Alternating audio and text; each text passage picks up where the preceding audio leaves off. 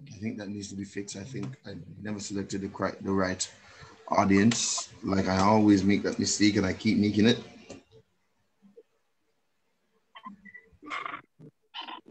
So let me see if I can fix it and then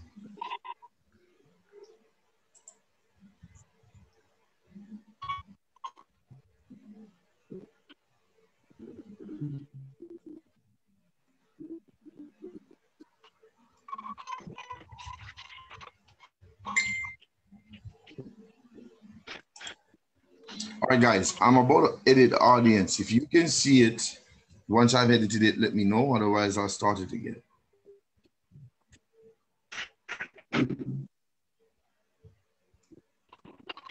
Okay, there you go.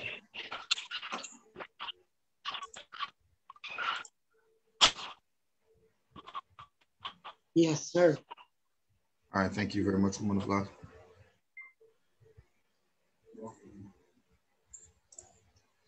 All right, good morning again to everyone. And um, we're going to go in. Okay.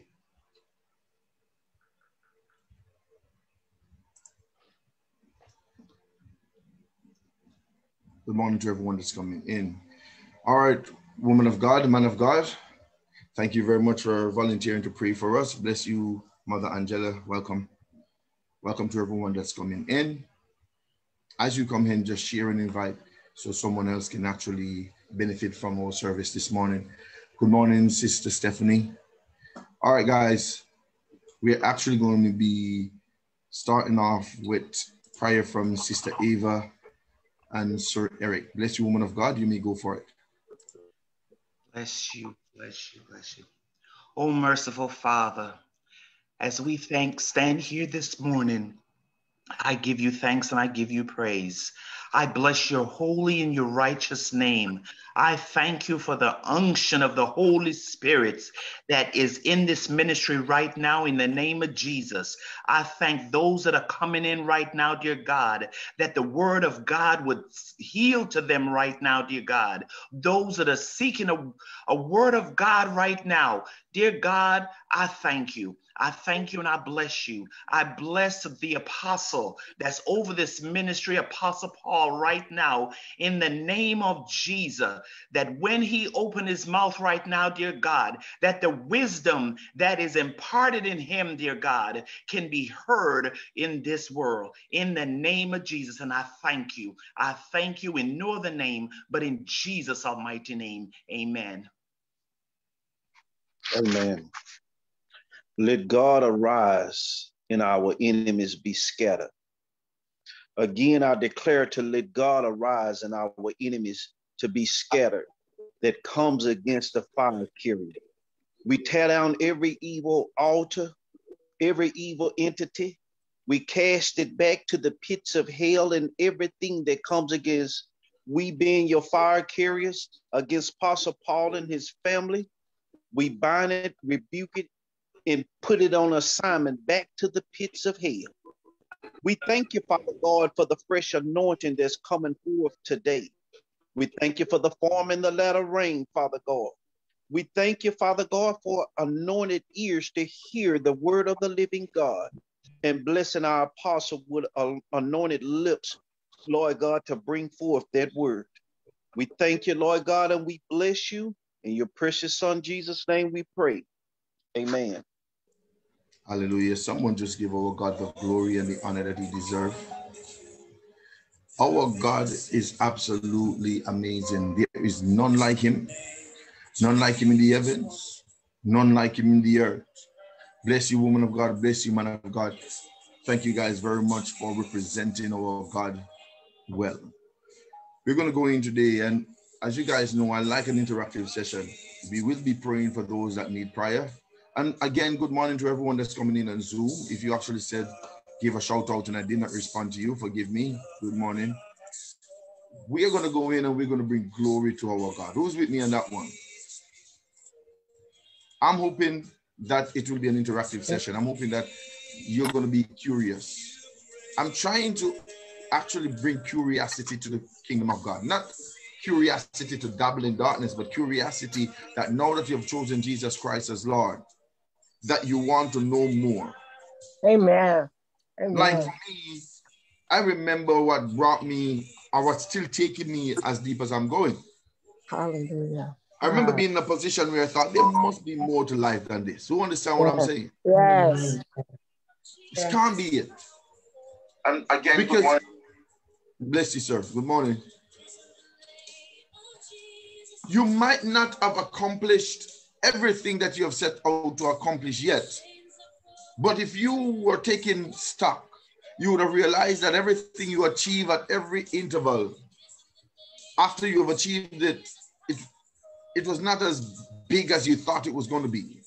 That's right.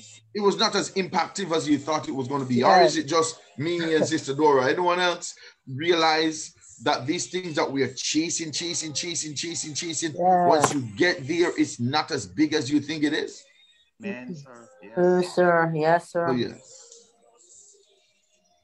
You think if I can do this, then I am I, I I have accomplished my life's worth, my life's dream, and you get there and you need another target because that was not enough. Trust me. There's a yearning in every human that goes deeper than just our targets that we have set for ourselves in the flesh. All right, go for it, Sister Karina. I'd love to hear what you have to say. Okay, thank you, sir. So I'm very curious. I'm very okay. So I'm reading Exodus, right? And I'm Mhm. very um um Exodus 4 verses 24 uh to 26. The part where Christ killed Moses. I'm sorry, it's, it's kind of going out a little bit. Okay. Exodus Are 4, you- 24, 26. Is that what you said? Yeah, I can hear you. Mhm. Yes.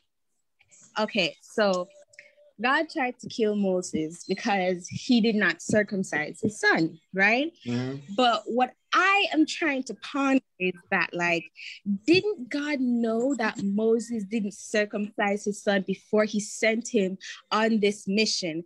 And then he sent him on the mission and then tried to kill him. And if it wasn't for his wife, he would be a dead man, right? And You know what I love?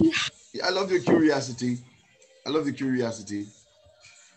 Though this Yeah, is not what now- we're discussing, I'm going to take the opportunity and answer this for you this morning. It's not as straightforward as you as you think. As a matter of fact, if you check, you'll realize that it was not Moses. It's, it's because we're reading it just what is presented. But have you ever actually read a text that there are some unspoken things, but based on the action of what is taking place in the text, it tells you of the action that took place prior? Do you understand what I mean? I understand. All right, so God sought to kill Moses, but notice Moses did nothing. Who was it that actually went and circumcised the sons? His wife. Okay, which means that they were told prior. That's the part that's not written. That's the part you don't see. That means if he is actually going to, if God is seeking an occasion to kill Moses and without explanation, his wife just went and literally just went and fixed the thing that needed to be fixed. Um, probably if we should actually not even a guess, but quite an educated guess if you want. Who do you think it is that actually objected to the, the, the sons being circumcised in the first place? Um, I, I don't know.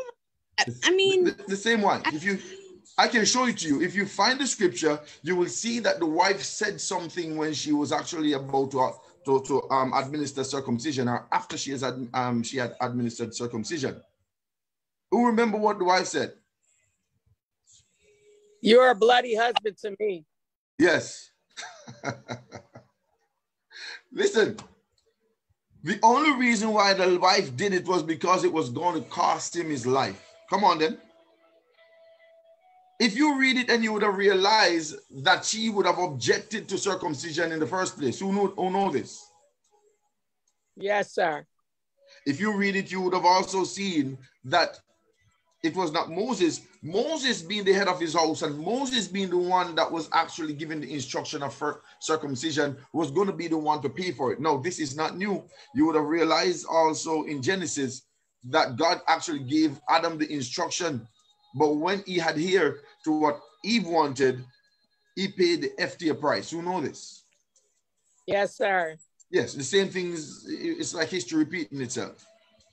Literally in a position where Moses was instructed to actually, to actually circumcise his sons based on the Midianites' culture, he didn't.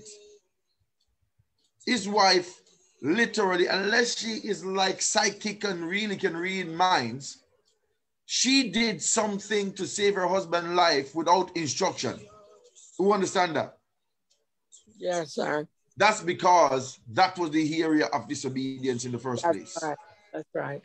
So, in truthful Seems like fact, such- sorry, go it just seems like yeah it seems like such a harsh punishment though that's what it, it just seems like so harsh to kill no, him because though you're looking at circumcision from today's perspective.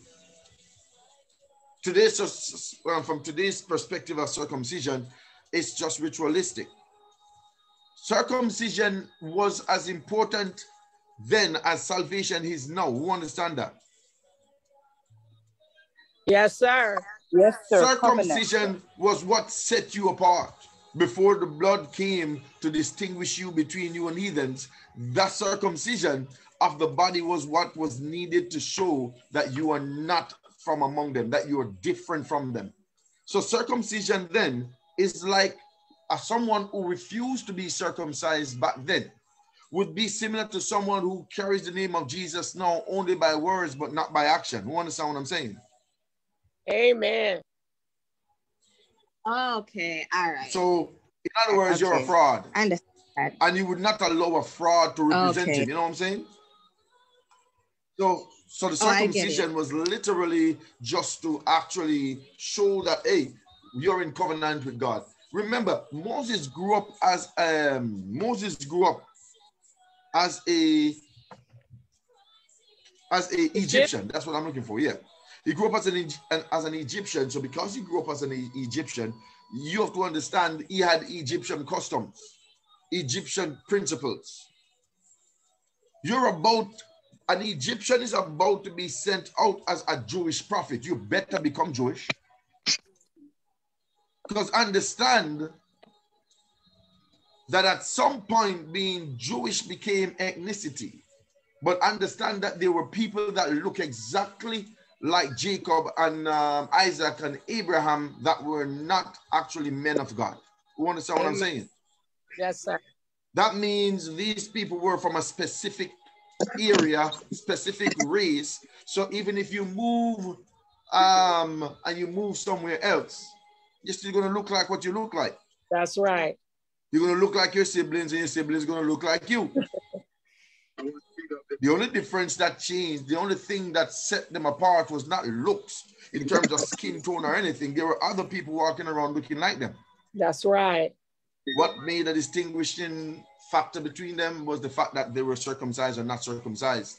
They believe in the God of Abraham. Even though we made him the God of Abraham, that was because he called Abraham specifically, right? Yeah. But trust me, it's deep. But um, when you go in and you read the text that is presented, also shows that there's text that is there that is not written, and then you can literally easily read what took place just based on what is being said. So you can see that even when she circumcised her son, she was annoyed. she didn't do it because she was happy to do it. She did it because he was dead, or a dead man walking, eh? Right. So good question. one other thing. Mhm. um right he sent him to the king right of egypt at the time and Yeah. he heart heart which made him like all of the miracles all of the things that moses would present to him to tell him that you know like god spoke to me and he's telling you to set the israelites free right but it seems like he was just making the situation just like a little bit more difficult by hardening the king's heart like what was the purpose of that All right, understand this. So there's a lot of things that people do not understand about the Exodus. There's a lot of things. Um, all right, let me welcome Sister Lisa, and my mom is in the room. Guys, let me to welcome my mom also, please.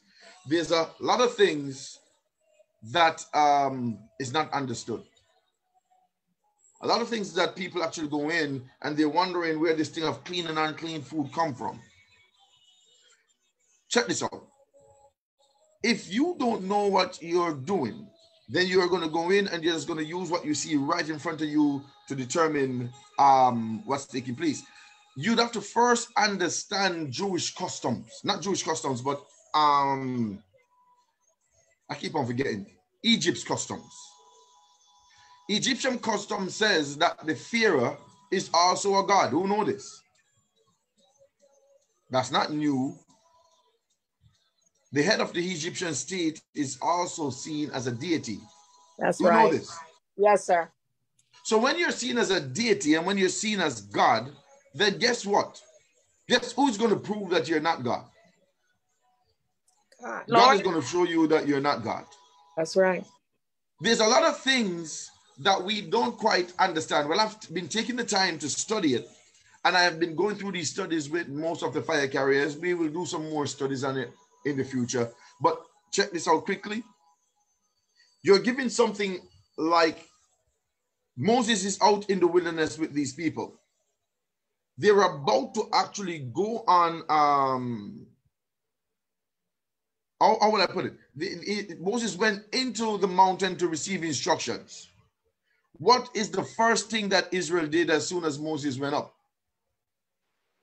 Made a calf and worship it? Yes.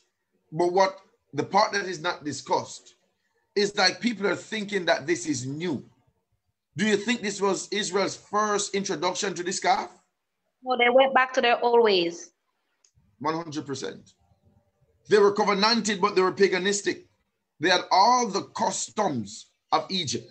So they were Egyptians in everything, or in most of their cultures. The, the, the, the God of their life was not Jehovah. The God of their life was more than likely the Egyptian gods, which they proved as soon as they got an opportunity. So check this out. Good. So you're in a position now where you're looking and you see these guys going back to what they're doing. They're doing what they know how to do. That's right. Pharaoh had become a god in the eyes of these people too. Who understand that? You will see if you read the passage that these guys do not actually, uh, did not appreciate anything that Jehovah did. You will see that they complained at every single turn. You know what I'm saying? Or was there not enough graves in Egypt for us, so you had to bring us here so we can die? Well, at least when we were in Egypt, we had we had meat to eat. They're always complaining. So you will realize that not only God needed for God to convert, for God to show you himself as supreme, you must make your God as null and void. You understand what I'm saying? The God you presently believe in must bow before the true God for you to be delivered. You understand what I'm saying? Uh, yes, sir. Yeah. Yes. You remember in one of these occasions that the Ark of the Covenant was actually stolen or taken by the, was it the Philistines? Philistines. Yes, sir. Who remember what happened when they put the Ark in the Philistines, in the, in the, in the camp of their God? He fell down and was destroyed. Yes. They came back and found their God laying in front of the Ark. Amen. So it might have happened with Pharaoh first, and you will see this as a consistent theme taking place throughout the Bible, because you will see that Nebuchadnezzar kind of got ahead of himself. And you will see that he also humble Nebuchadnezzar, sent him to eat grass like a cow. There's only one God. Amen. See, Pharaoh was exposed to power. There can be no question that he was exposed to power, spirituality. Amen. His magicians dropped their their rods and they became snake just the same as Moses' snake. hmm These guys had power too. Hence why we're saying that you can't just look for power to determine if it's God. That's right.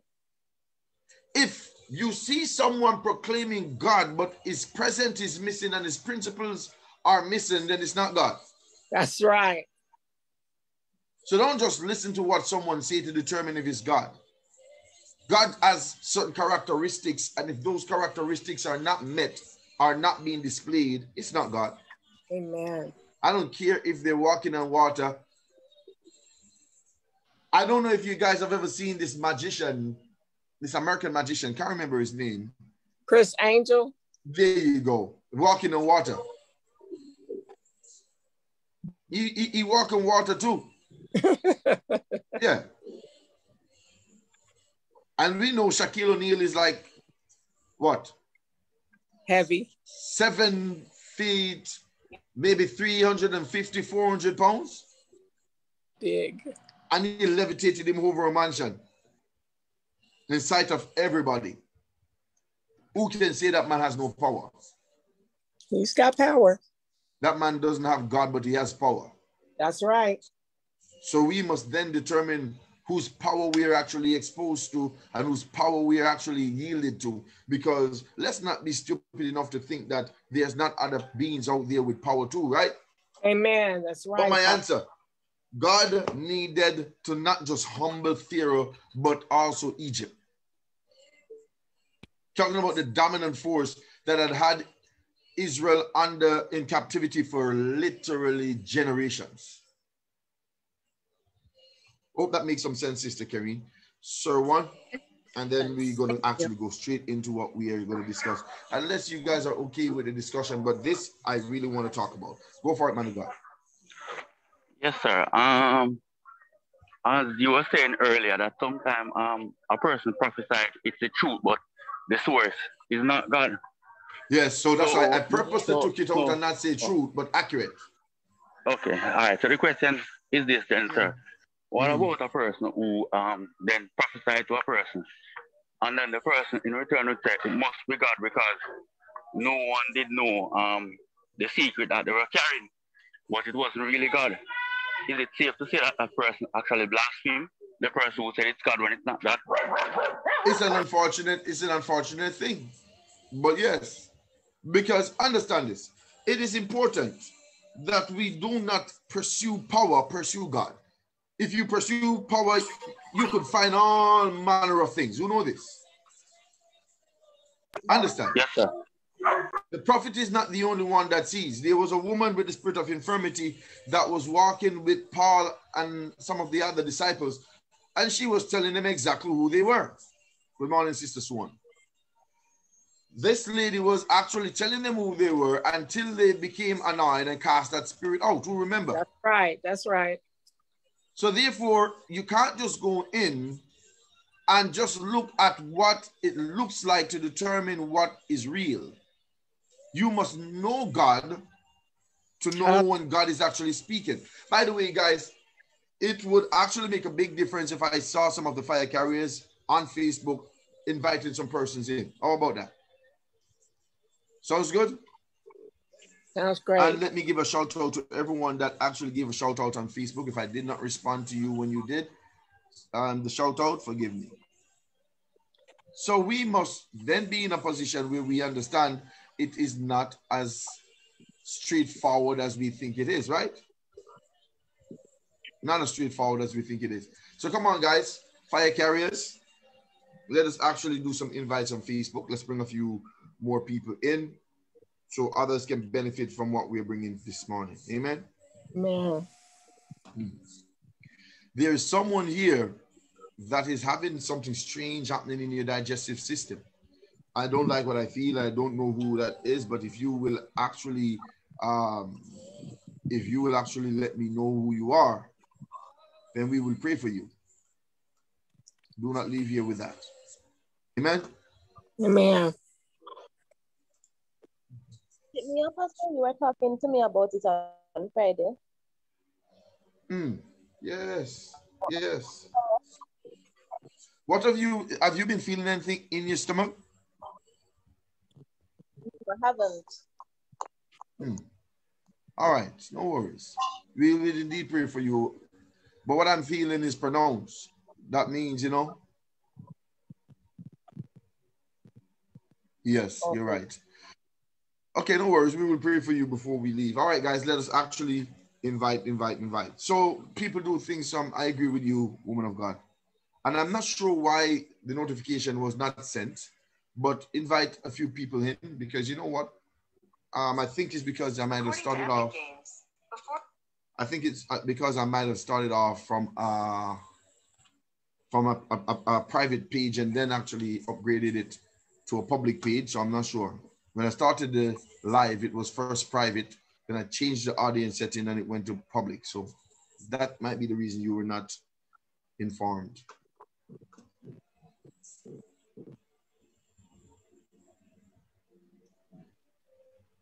Okay, thank you very much. All right, guys, send these notifications out for me. Help to bring the family members in.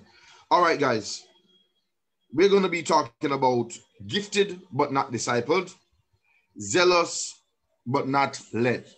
Now, before I go in and before I actually start um, talking about this, who would like to actually, who, who know or have an idea of what I'm talking about?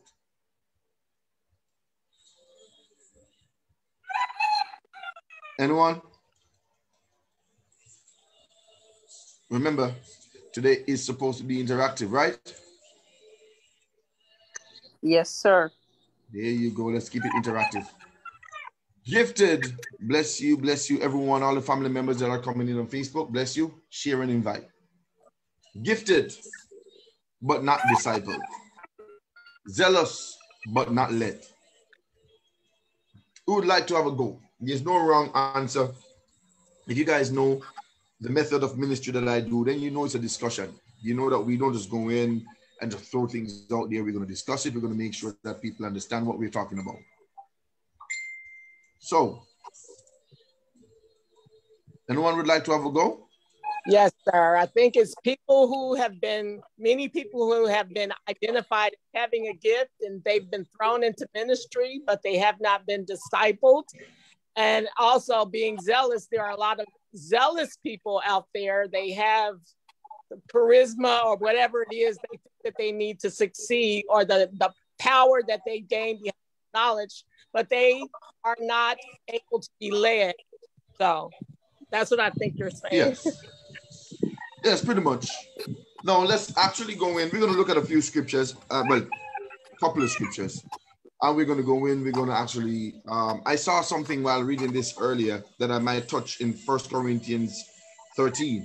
Then I've read this many times and I only saw this, I literally only saw this this morning. Literally only just saw it this morning. So I'm going to actually, um, I'm going to go in and we will actually um, get this thing done. Sorry, I saw my family ringing me just now, but I'm actually live, so we talk after.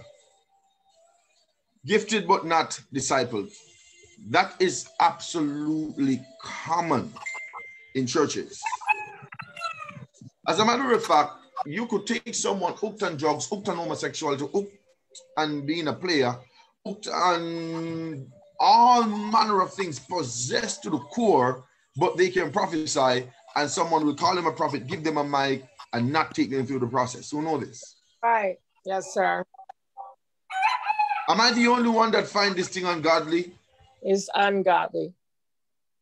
Am I the only one that find this thing cruel, like really, really horrible? no, you're not. Do you know that person is not being helped? Do you know this? That's right. I have never seen it work, not even one time. I've seen it being hyped for a season, but I've never seen it work in a successful way, not even one time. Anyone ever seen it work successfully? No, sir. I've never. Gifted. Those gifts need to be yielded to God. Zealous, full with zeal. You're really driven, but not led. That means you might have an handbook of what you think is right and wrong. You might have an handbook of what you think that is a correct way to do it. But have you actually consulted God or are you even in communication with God? Do you know how many people who are presently, and I did say presently, they are representing God, but literally they have not consulted Him in anything about their representation? Yes, Jesus. Do you know how many people keep on teaching and preaching doctrines that they're going to have to go and change in a few years, or weeks, or months? Do you know how many thus saith the Lords that have been spoken for someone to come back and say, Oh, well, we know in part and we prophesy in part? You understand what I'm saying? Too many, sir. All because we keep on pushing gifted people to the front. That's right. Zealous people without connection are now on the front line. That's right. And if you want to see what zeal, then no one was zealous like the Pharisees. it's the truth. Yeah, that's right. No, this is not a bash session. It's an opportunity for someone to actually check. All right, all right, I have zeal. I love God. Um, I really want to serve in ministry. Okay, are you ready? And you're not ready when you can cast out a demon. You're ready when your life is clean. That's right.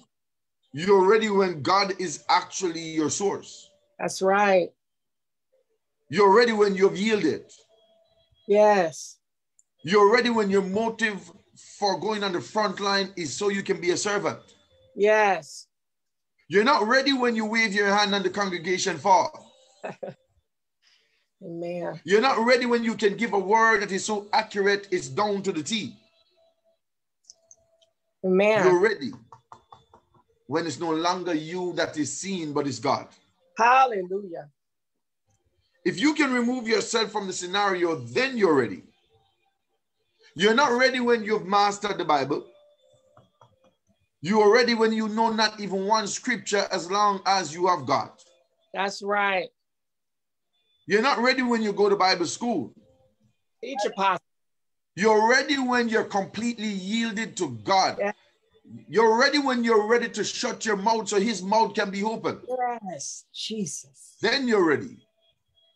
And if you're in a position and you're seeking to truly be ready, the only way to be ready is to realize that you're not ready of yourself.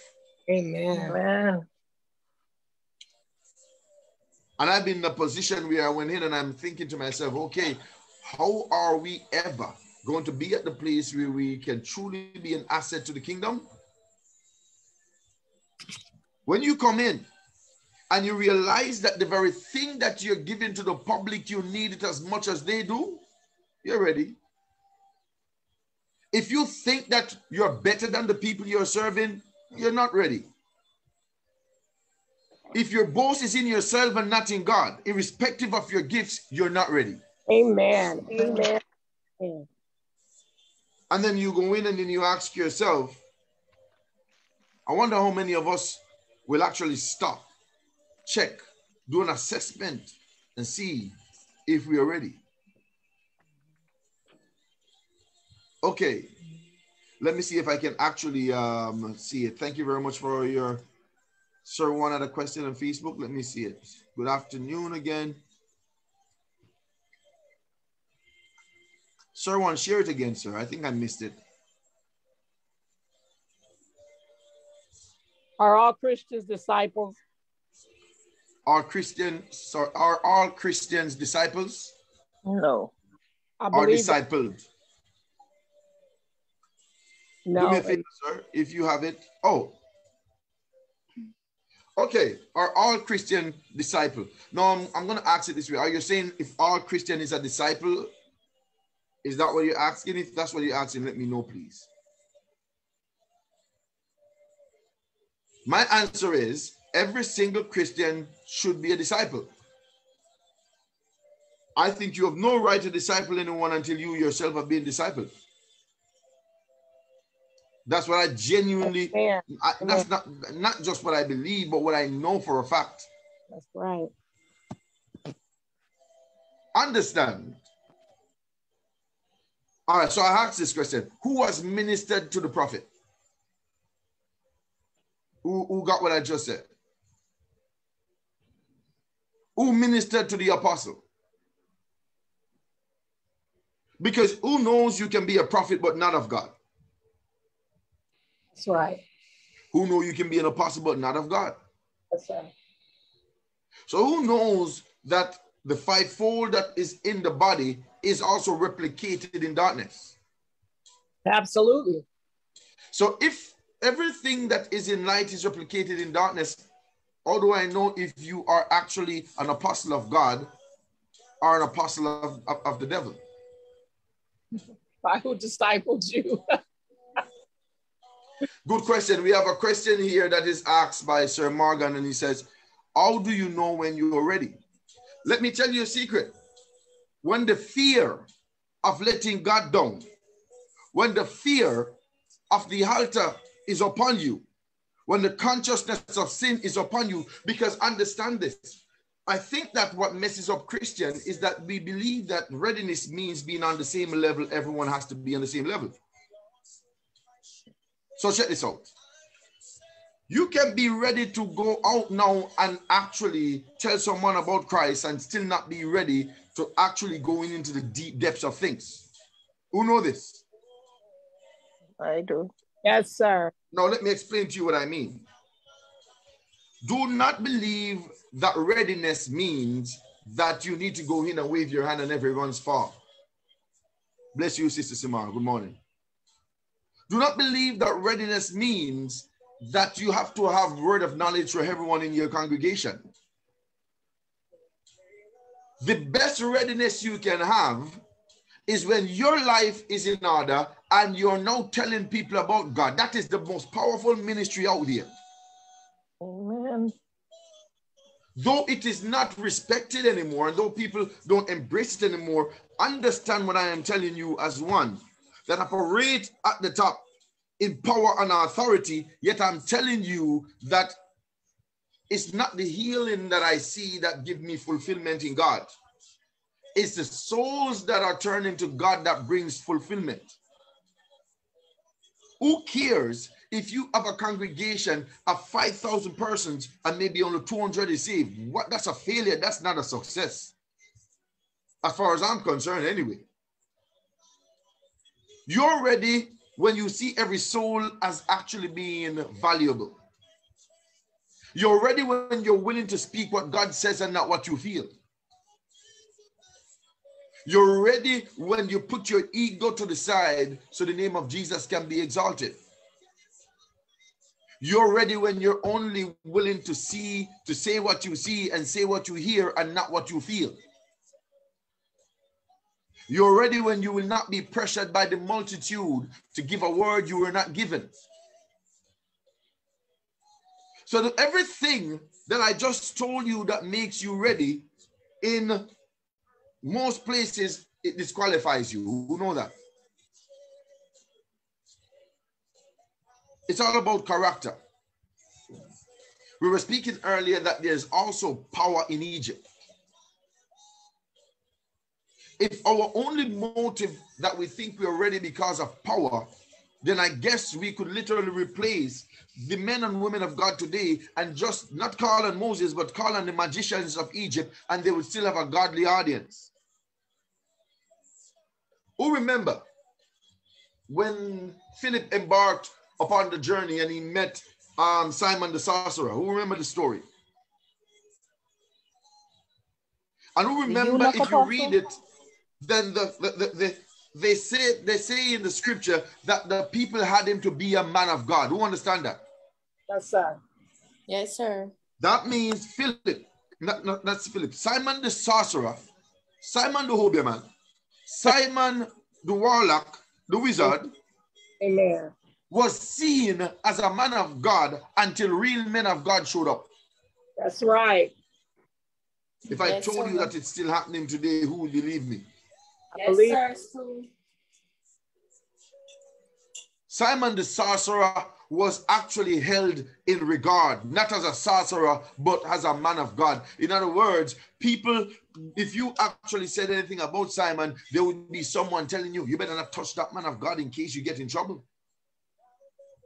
Hmm. Why is it that one man could have gone into a community, a city or a town, even a village, and convince them all that he's a man of God?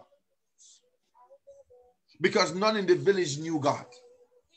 Yes. None were disciples. None were disciples. Yes.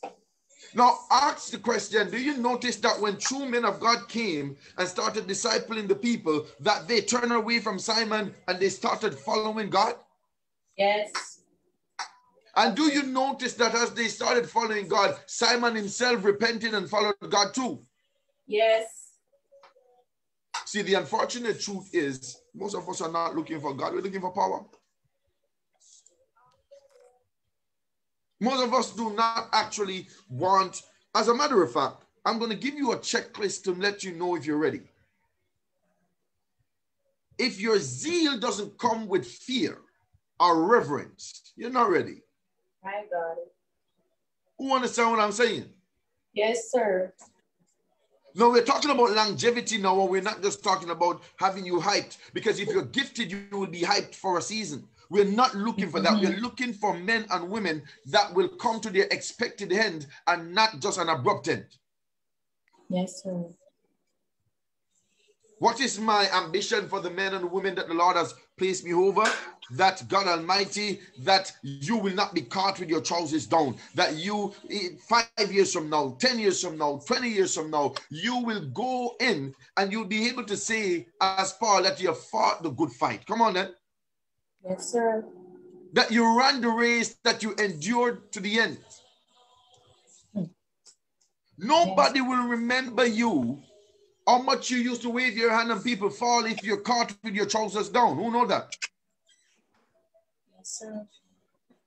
If you misappropriate money in the church, no one will remember the, the, the, the, the, cancer you that got healed. They will remember the money you stole. Mm-hmm. So don't seek a position. All right, understand this. The Lord told me that the most precious commodity on this planet are souls. That simply means that this is what God is concerned above all things on this earth. God is concerned about souls. Okay. So if you are actually in a position where God is saying, I am concerned about souls, and you then are actually in leadership and you make it about money and you make it about hype and you make it about all this thing of showing who you are. As a matter of fact, if I ever see a man of God and he's telling you that there's no one else like him in the planet and that he's doing this and you never hear the glory being given to God, I start worrying every time Amen. because I know that that person is a disaster waiting to happen. Not that I want that person to be a disaster, but knowing full well that it has not skipped anyone. It has not skipped anyone. Anyone that takes that approach gets the same result, eh? Yeah. All right, woman of God, we're going to go in and we're going to read Ephesians 4, and we're going to be reading from um, 11 through 25. We're going to take it stage by stage. We have this discussion, and you guys will be given the opportunity to ask questions as well. Amen. Yes, sir. 11 through 25. Amen. Gave some apostles and some prophets, and some evangelists, and some pastors and teachers for the perfecting of the saints, for the work of the ministry, for the edifying of the body of Christ. All right, I want you to stop there for a second. Yes, sir. All right, let me see if we can, I, if I can get there with you. All right, so I want you to read, read it one more time for me, woman of God. I want to point something out. Yes, sir. And he gave some apostles and some prophets and some evangelists and some and teachers for the perfect saints, for the work of the ministry. Okay, brilliant. You know what? Sorry, woman of God. I just saw Sir, Sir, I just saw Sir Morgan's question. He says, in Jamaica, from you say God. Come on, what's up with this thing? Give me a second. Yes. In Jamaica, from you say God, um, from you say God is an apostle. Oh, is who is an apostle? Or I think you mean who or not oh, right? All right then. I can't even say I am. I can't even say that I'm angry at what you're saying because I used to say the exact same thing. As a matter of fact, not only did I used to say the same thing, the Lord called me an apostle for almost four years before I actually embraced being an apostle because I actually thought the exact same thing. But you know what? Isn't it really like telling that the question you're asking is actually going to be answered in the very passage that is being read? Hence why I actually asked Sister Dora to stop for a second. So, based on what Sir Morgan just asked, he's saying that if from you're saying God, you're an apostle. No, there there's specific jobs to be done, and we might not go into all the specifics today. But what I want you to know, I'll look at I want you to listen to listen keenly to what is being read now, and that is from Ephesians 4. Even just 11 and 12 will actually make it plain. Also, guys, share and invite if you're on Facebook. All the fire carriers should be sending an invite out to persons, just so, just as we have Sir Morgan here, others can be coming in asking questions too. So I expect fire carriers to be doing their job, evangelizing. That is evangelizing also, right? Yeah. Okay, woman of God, let's read this because I mean, literally, what was what was asked in the question was just answered by what Sister Dora just read. Yes, sir. And it says that he gave, gave some apostles. Go on, woman of God. Sorry. Some prophets and some evangelists and some and teachers. Stop there for, for a second. In 12, it will explain to you what these guys are supposed to be doing, correct? Yes, sir. Go on, one of God. Let's see what it says. For the perfection of the saints, for the work of the ministry, for the edifying of the body of Christ. So every prophet, every apostle, every evangelist, pastor, teacher, if they're not there, and we can read 12 to show you what they're supposed to be doing, if they are not actually for the perfecting of the saints, that means if you're a prophet and everyone around you is a pervert, you are not a prophet of God. If everyone around you is a pervert and you're an apostle, you're not an apostle of God. Can I just call a spade a spade now? Apostle pervert. Hmm? For the perfecting of the saints, for the work of the ministry, for the edifying of the body of Christ.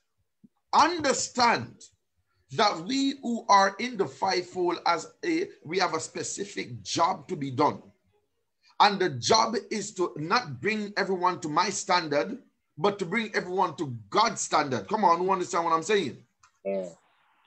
that simply means that every apostle is there to bring edification edification to the church every prophet is there to do the same if your job if your only means of bringing edification is to wave your hand and collect money, you're not actually doing the job that you were sent to do. You understand what I'm saying? That's right. So this is what you can use to, to, to actually then place what these, if the fivefold is effective in the ministry you're a part of. One, is the person or the ministry of the fivefold within your, your church bringing edification to the body? perfection to the saints? Is it working in the body of Christ so everyone will actually walk in power and authority? Or right. is someone claiming to be the power and the authority? That's right, Apostle.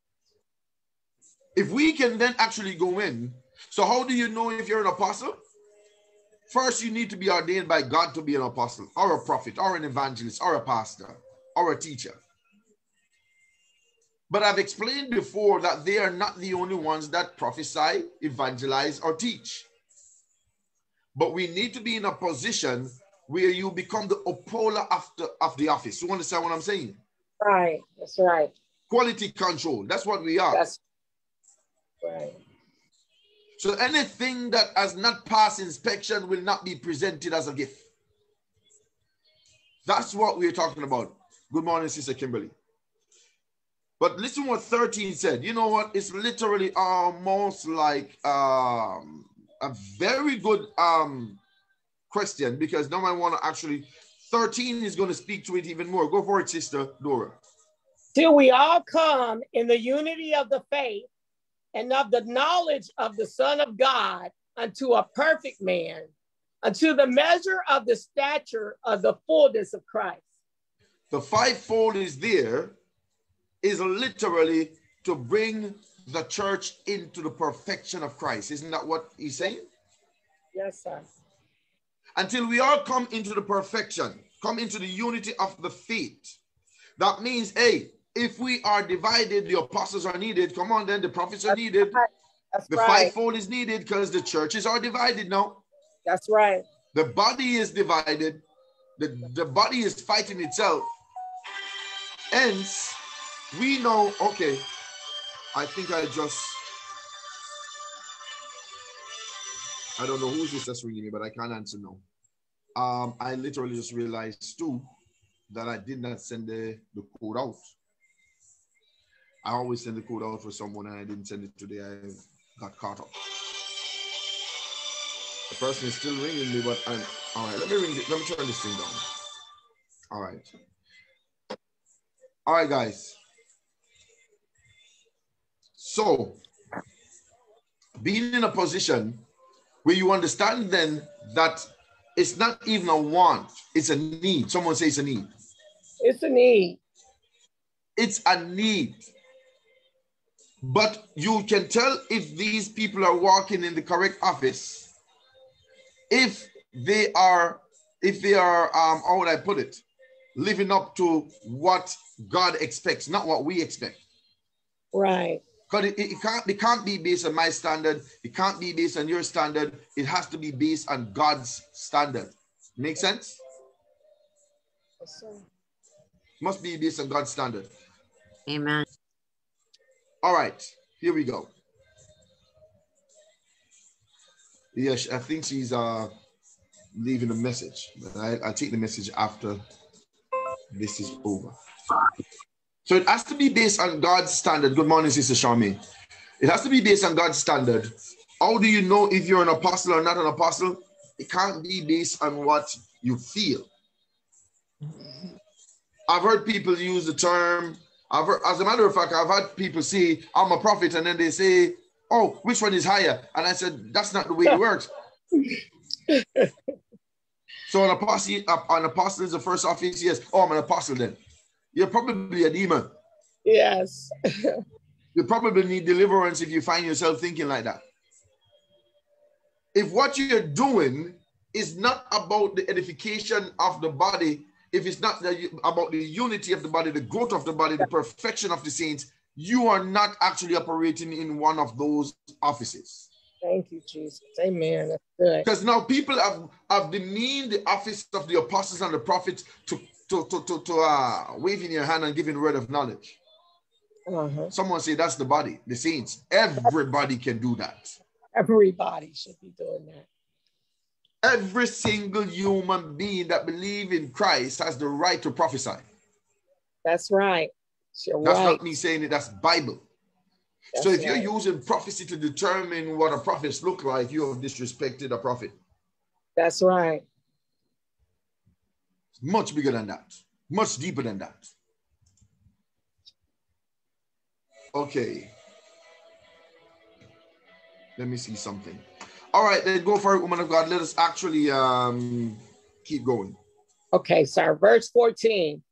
That we henceforth be no more children tossed to and fro and carried about with every wind of doctrine by the sleight of men and cunning craftiness, whereby they lie in wait to deceive. But speaking the truth in love may grow up into him in all things, which is the head, even Christ. From All whom right. Don't move on yet, woman of God. I stop you one more time for a minute. Let's see what 14 says again. Do you notice that he's telling us the importance of the fivefold in the, in the church? He's telling us the importance of having these ministries so you can be discipled. Isn't that what he's saying? Yes, sir. You need to be discipled so you can actually walk as a true Christian. If you want to mature in Christ, you must be discipled. That's right. If you want to walk in unity, if we were all discipled from the same system, there would be no denominations. That's right. That's right. If you and I were taught the same principles about Jesus, then I wouldn't leave thinking that Jesus is objecting to Father, Son, and Holy Ghost, and Father, Son, and Holy Ghost is objecting Right. to Jesus. That's right. If we had the same Jesus with the same insight, we would not be confused about the different dogmas that have been handed um, handed down by men that did not spend time enough with God to know the truth. So now we are caught up in a system where we are literally having debate within the church. If when you're saved, you're saved forever, or can you actually be in sin and lose your salvation? You can be in sin and lose. If we were being led by the same Holy Spirit, these questions would have been null and void. That's right. If the teacher was the one that was doing the teaching and not someone that doesn't was not given that office, we would not have these problems. That's right, Apostle. Right. If we were being led by the Spirit, we would not be debating that if you don't speak in tongues but you're living holy and have God, that you still have the Spirit. That's right. So now we as human have literally come in and we have decided what will make you save. So now no one is consulting the one that actually died to make us save. I am telling you what the requirements are. You're telling me what the requirements are, requirements are. And now we're debating and arguing over something that has nothing to do with us because we are both followers of someone that is still alive, that still has a mouth, that can still speak. That's right. So why not ask Jesus what the requirements are? So the fivefold is, right- is there to make sure that we get rid of the denominations and focus. So someone said to me, oh, what about the fire carriers? Isn't that a denomination? I said, no, that's a regimental name. Amen. Within the British forces, when I served, you had many regiments serving the same country, the same crown. The regiments are all called by different names, but God Almighty, their mission is, is all to protect and defend and serve the crown. All these regiments are loyal to the crown, irrespective of the name they have, irrespective of what they are called, they are all doing the same service unto the crown. But if you go in and you start taking doctrines out and say, okay, if you do this, you can't be saved. And if you do that, you can't be saved. And then I look at some things and I see how much religion cripples. Can I keep it real? Yes, sir. Religion is as crippling as sin. I promise you. Yes, it is. Because you could be caught up in religion thinking you're saved and you're deep in sin, but just not in the sin you think. That's right. So you Right. actually said that person is not wearing a head cover, and you decided that person is a demon, and you didn't even consult God before you said it. You just call a Christian a demon. Who understand what I'm saying? Yes, sir. Isn't that what the Pharisees did when they did not quite understand what Jesus was doing? Yes, sir. That they started making things up as they felt and decided, um, let's find scriptures that um that that that actually um rebuke that, that debunks what Jesus is saying.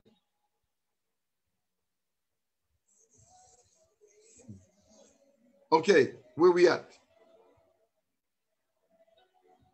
14 uh so it says i'm going to read 14 one more time. It says that we henceforth be no more children. That means you can get baptized but you're a child. I don't care how gifted you are. Come on then That's right. you can be baptized and you could be 70 years old but you're a child That's right. Yes, sir. now if you have a problem with that take it up with paul not with me amen that we Amen. henceforth be no more children tossed to and fro. That means there are Christians that are confused and they have been tossed to and fro. Come on then. That's right.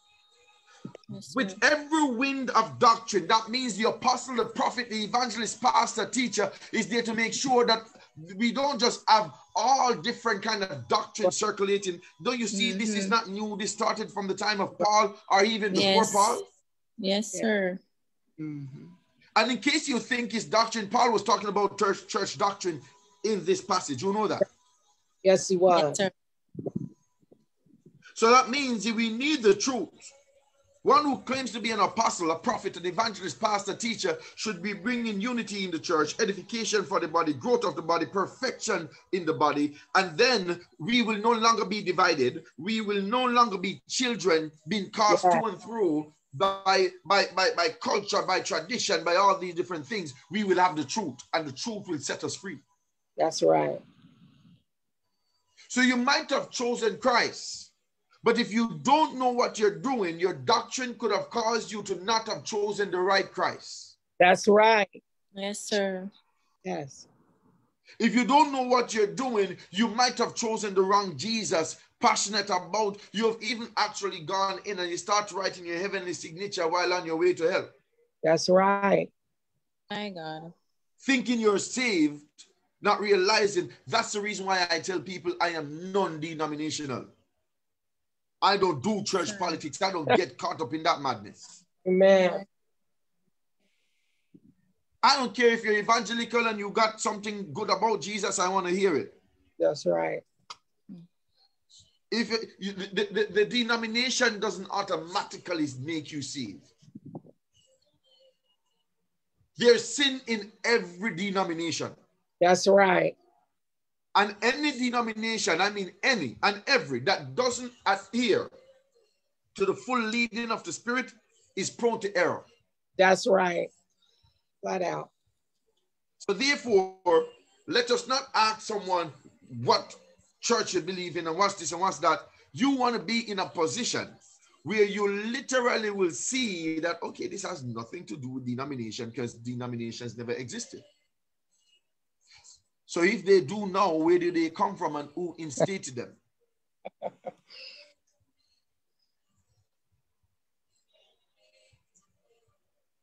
Okay, oh, Sir Morgan, you can get the link to me if you want, sir. If you want, it would be a pleasure. As a matter of fact, if you would like, if you would like to actually come on in and experience what the mentorship is, is like on a Tuesday or Thursday, it is free.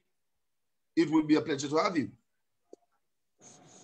So if someone can actually give Sir Morgan my connect, I would love to actually get with him. He has questions that I think are valid. I am as curious as he is, so I like curiosity, right? Amen. Okay, where we at? Verse 16, sir. I don't even want to reach on to 16 yet. I want to show you something in Okay. 14 I was about to leave. Check this out. It says here, by the sleight of men. Mhm. What does it mean by the slight of men? Because this is too important to, to, to, to, to, to leave. The doctor has to come through someone. And Yes. that's Do me I a think. favor. Can you look up the word slight Yes, sir. for me? I'm going to show you something very important. I'm going to show you all these things are so important and we read them, but it's right there in front of us that it should not be overlooked, right? Hmm It means the use of dexter the use of dexterity or cunning, especially so as to deceive. Okay, like sleight of hand, like magic. Yeah. yeah. Okay. I wanted the fire Deceitful carriers, I wanted the people listening to hear. Go on, woman of God. Deceitful craftiness, dexterity, skill. Paul is still talking about this being in the church, isn't he? Yes, sir. Yeah. He's saying that if the fivefold does its job, 14 again, that we henceforth be no more children, but Yeah. we be we we we be eating um, hard food or sincere food. Yes. Yes. Huh? Yes. That we will no longer be tossed to and fro and be carried about with every wind of doctrine by sleight of men. That Mm. means these men who are cunning, they're demonic, they're in the church, they know what they're bringing to you is a lie, but they Yeah. want to actually cause you to be pagan like they are pagan. Yes. Yes. They will go in and they will start making stuff up and it will bring damage to the to the body. You understand what I'm saying? Right. That's right. There's a lot of things that actually caused me to shut up when I became a man of God. That means I had opinion of things that I was totally wrong about, and I had to be willing to relent on my opinion. Who understand what I'm saying? Yes, sir. Yes. Then it says here, and cunning craftiness, whereby they lie in wait to deceive. God Almighty, there are people still right now, Yeah. 2021, waiting, Yes. lying in wait to deceive. Yes. There is no requirement for you to live holy. Sow a seed and you will be okay. Stop your, right. your Obeah. My Stop God. your witchcraft. That's right. Stop your magic. Where you're now telling people that as long as they follow your protocol, they're okay. The fivefold is not there to uphold or present their own protocol, but God's That's protocol, right. God's principle. If a man comes or a woman comes saying they're a prophet, apostle, whatever, and they're presenting their protocol, their principle, that's not of God. That's right. All right, let me see what Sister Kimberly said. It says, if a person or they build, not sturdy to strong. Oh, I thought, Sister Kimberly, you had a question also, right? Yes, I miss it? Apostle, on Facebook. All right, go for it. Mhm. Um, I was saying, how is it that people believe that there is one devil, which is Satan, but they don't they don't believe that there is only one God? I don't understand. Understand this. I want to explain to you that many people have been turned off by Christianity because Christianity has been infiltrated more than any other religion. So they That's could be proven to be not the truth. If we can just use Jamaica, there's many persons in Jamaica that could never embrace Jesus because the Jesus they see on the almanac, they could never embrace him. They were actually enslaved, or our ancestors were taken in a ship in the name of Jesus. So now people do not want to embrace that Jesus. But that doesn't mean Jesus is a lie. It means that liars took the name of Jesus and blasphemed it. Who understand what I'm saying? Amen. So you're now in a position that if I come in and I say that Jesus Christ is Lord and I'm an apostle of God and I'm this and I'm that, and next thing you know, you catch me, I'm soliciting you, I am telling you to send me pictures and I am texting you, telling me to send your number and all these things. And now all of a sudden you hear that person saying all these Christian people are horrible, nasty, wicked people. And the name of Jesus is blasphemed because of people's actions that proclaim or declare that they are Christians. Isn't that the way it works? So I come in. I tell you that I am a Christian. Not only am I telling you I'm a Christian, I am now waving my hand and I'm telling you I am the standard. Who understand what I'm saying? And when a man or a woman present themselves as the standard, then you could literally have 50,000 educated people that will be brainwashed. Because even guys who are scholars pay to go watch magic tricks. Come on, then. As long as our spirituality is stimulated, that's all we want. We don't care if it is being stimulated by a demon. Who want to hear the truth? That's right. That's right, Apostle. We are looking for spiritual stimulation, not godly stimulation. That's right. Not godly encounter or godly connection, spiritual stimulation. If someone can touch you and you feel something in your body, it doesn't even matter if they, it- it's a demon that's doing it. That's right. People don't know or care. So when you come in, because call a speed, a spade, it's the nature of us human to want it to be done by someone else. No one want to put no work in. Amen. So you find people dying from these miracle cures all the time. I want to lose weight. Here's a pill, take this pill, and all the weight will go. And you didn't read the fine print, but you will suffer from internal bleeding, may possibly die in five months. Button deaf. you just want to lose weight. You're taking a pill. Why not just get up and go for even a 10 minute walk every day? That's right. Nah. Who wants to go for a walk when it's swallowing a pill can solve the problem, except it can't?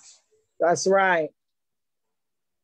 So when you are actually in a position, because I've seen it, people saying, "Oh, I pay my tithes and offering there." Okay, that's good. Is there a requirement for you to change? No. God has blessed me. God is blessing me. I'm paying my tithes and offering there. Is there a requirement for you to change? I think it's abominable now for you to be taking sinners' tithes and offering. I genuinely believe that. Get in trouble, eh? Amen. What I'm saying is wrong. I genuinely, right. before God Almighty, think it's wrong. Yes, sir. It's true. If someone is in adultery, fornication, living a life that is ungodly, but the, he or she is giving you his or her tithes and offering, taking their money, but you're not willing to tell them to change, I think that's a Jesus. mess. Balaam. I have been in a position where I saw one guy that do you know what he does for a living? He's a professional gambler. He worked the casinos in the US. And he is the biggest in the church where I that, that, I went with him. He was the biggest donor. You understand what I'm saying? He gives like no one else because he's really good at gambling. He makes a lot of money. They're afraid to address him and his gambling habits because he gives so much money. You get what I'm saying? Yes. I believe that anyone should be addressed that is actually not living right. Everyone, sir. From the pulpit to the pew. Amen. That's right. That's what I believe. I believe no one is beyond the truth or is bigger than the truth. No one. That's, that's right. And if I meet a pastor, apostle, prophet, evangelist, any one of these fivefold teacher that thinks, or any Christian for that matter, that thinks he or she is bigger than living clean or bigger than the truth, I don't want to even associate myself That's with you. right. That's right.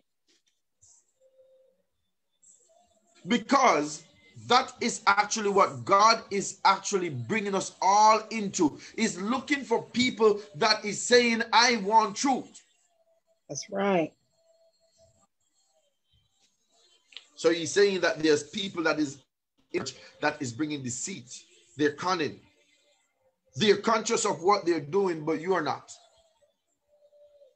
You understand what I'm saying?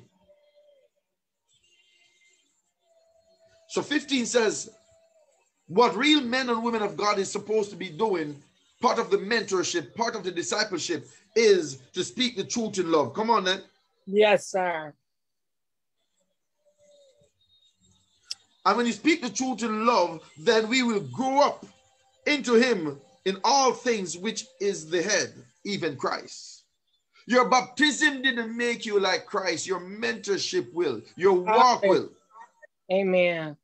So if you feel because you prophesy, I used to hear these things, oh, I'm hungry because I'm a prophet. You're hungry because you have a hunger problem. That's right. That's right. If someone is angering you and it's not because of sin, you might need counseling. you do. yeah, has nothing to do with oh oh I, I'm I'm throwing tantrum because I'm a prophet. Eh, nah. That's not the reason for throwing no tantrums, That's right. right? So when you speak the truth in love, you're now in a position where you're bringing edification, unification, all the things that was mentioned above there. Amen. You mentioned it above that that's the that's the, the what the offices have been called to do. So in other words, he's saying because remember he's talking to saints. But if Yeah. you notice, he says that 14 that we henceforth be no more children. That means you're baptized, but you're a child. That's right. You're a spiritual child, That's right. irrespective of your your your physical age. That's right. You are a spiritual child at the place of, of birth. That's right. When you have been born again, whatever age you are, you're a child. That's right. My advice is for you to act as such. No, that doesn't mean you have to be remain a child forever or even on, on the long term. That's right. But it means that you are because I grew, I grew up very fast myself. My ambition is that you will have all the spiritual vitamins that you pass to. Amen. So when we say you're a child, it's not an attempt to keep you suppressed. no. It is an attempt that you will grow correctly. That's right. And if we can get you to grow correctly, then we will have people who will then continue the policy, the principle, the system of causing others to grow. That's right. If you are a Christian, but no one can benefit from your growth, you're not actually growing. That's right. If you're still fighting over the Gerber food product at the, with other babies that coming in, then you're an everlasting baby. We need That's to go right. take you to the doctor and get you checked. That's that's right. That's what we're here for, for the growth of every man and every woman. So it says that we must grow up into Christ, be like Christ. That means God Almighty, isn't that our aspiration? Yes, sir. Yes, sir. Be ye holy as I am holy. Yes. He expects us to be holy. Yes. Be ye perfect as I am perfect. He expects you to be perfect. Yes.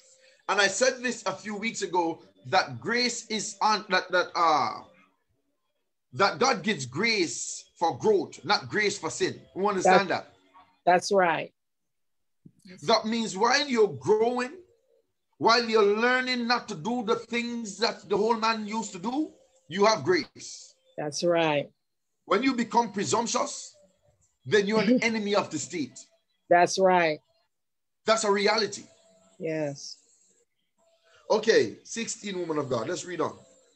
From whom the whole body fitly joined together and compacted by that which every joint supplieth, according to the effectual working in the measure of every part, making increase of the body unto the edifying of itself in love. God Almighty. So God has placed limbs in the body to make sure the whole body is working correctly. Yes, sir. And the whole body is subject to discipleship. Who know this? Yes, sir. Apostles, subject to discipleship. Prophets, Everybody. even the fivefold needs the fivefold. That's right. Absolutely. Every one of us needs to be disciple, needs to be taught, needs a prophet, needs someone to make sure that we're not an idiot. That's right. Yes, sir. To not be because someone saw the future that you would be great in the future, they treat you as great in the present when you're a vagabond. That's right. Have enough wisdom to see the general, but also have enough wisdom, uh, have enough insight, I should say, to see the general, but enough wisdom to treat the second lieutenant or lieutenant, treat them like they are until Yes. they get to the state of being a general. That's Don't right. ever treat a captain like a general. That's right. There'll be a general in the future. And I don't mean long term future, I mean when you're ready. That's right. And your readiness could literally take months, weeks, or decades if you don't know what you're doing. That's right.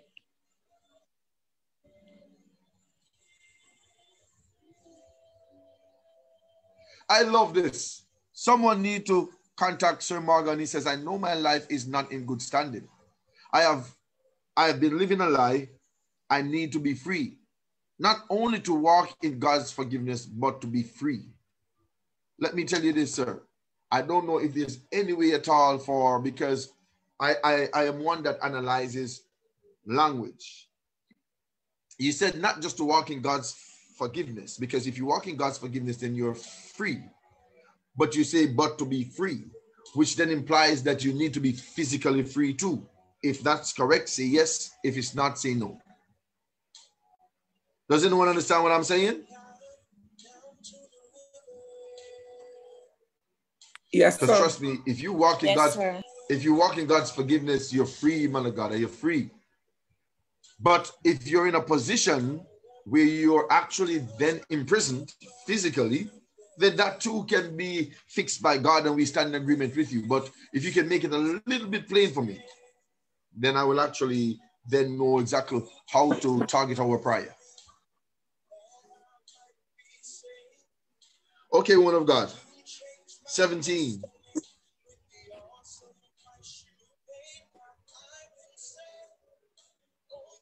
Okay.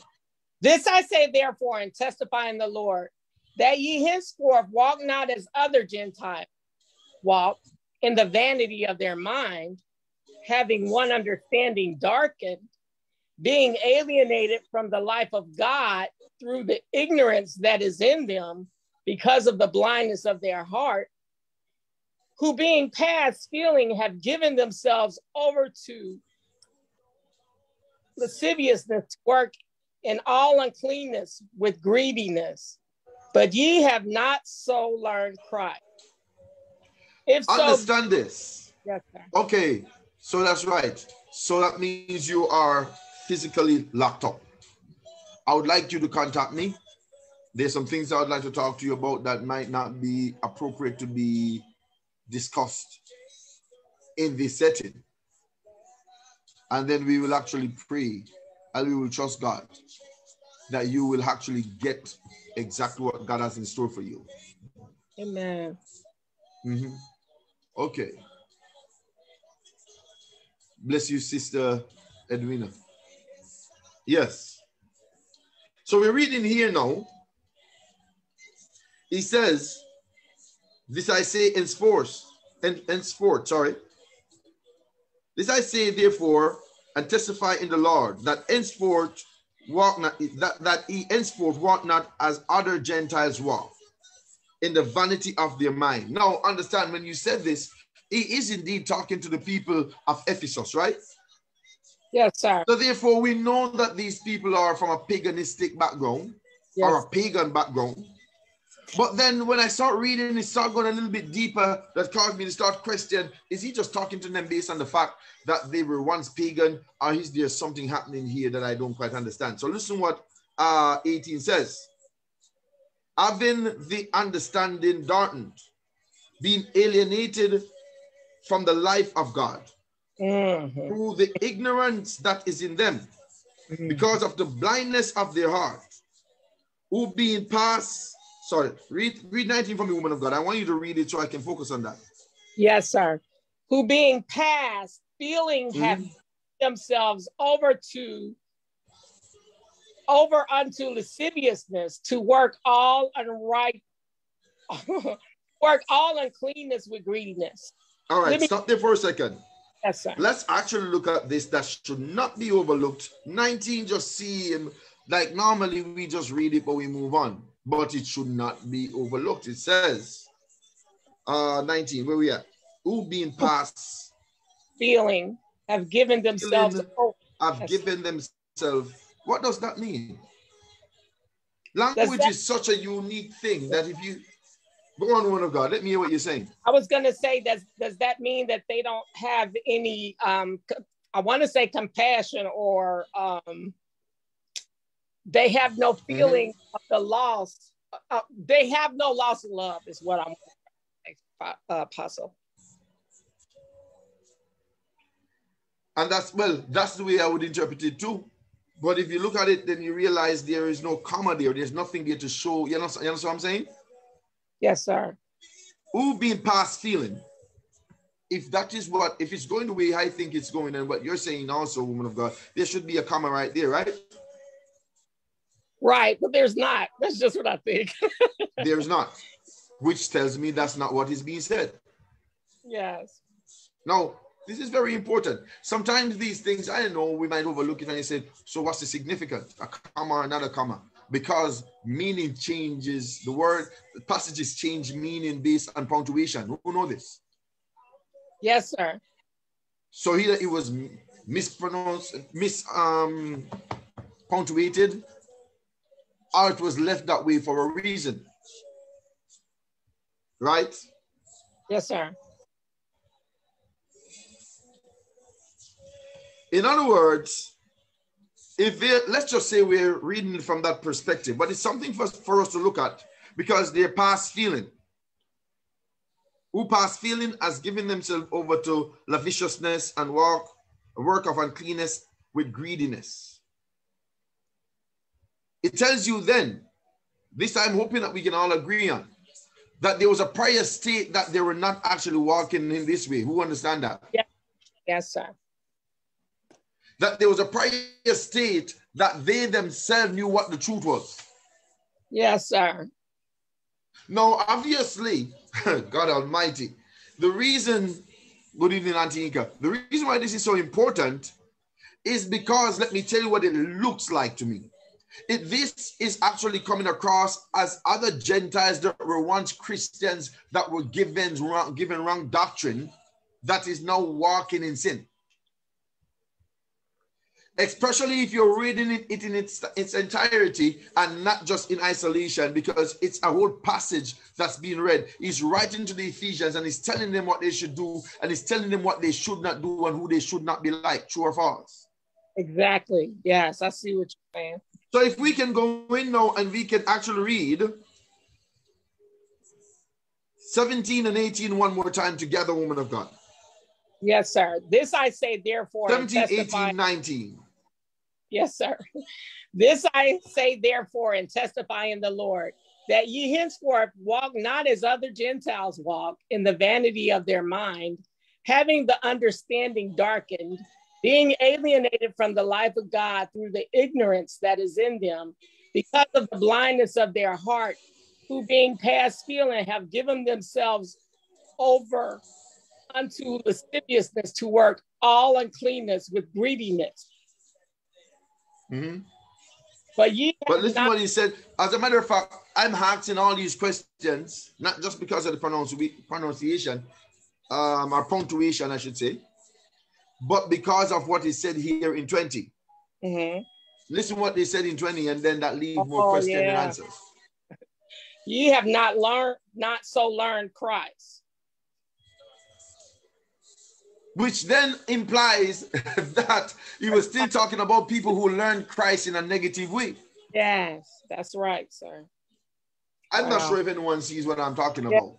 Yes, yes, Paul just mentioned a whole bunch of stuff that they should not do and people they should not be like. And then he said in 20, but he have not so learned Christ. That means Yes. these people have been taught a Christ that we don't actually recommend. yes, These people have been taught a Christ that that's not the Christ we're talking about. Who sees what I'm saying? yes, sir. These people are like the children that we don't want you to be like up in the verse above that are tossed to and fro. These are the result of that. That's what 100%.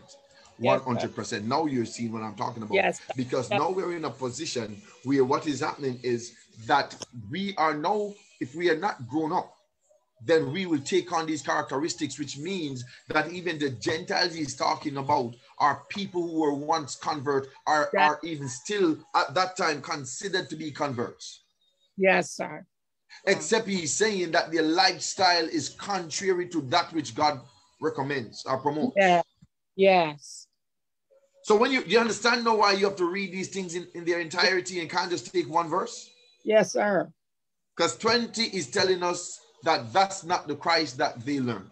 That's He's telling right. the church, the church that Paul is mentoring, that Paul is actually teaching, discipling. He's saying, he's saying, hey, I didn't teach you that. We didn't teach you that about God like others did. Taught That's those right. other Gentiles about God. All right, we are at 21. Yes, sir. If so be that you have heard him and have been taught by him as the truth in Jesus, that ye Mm. put concern. Continue, sir. Yes, continue with God.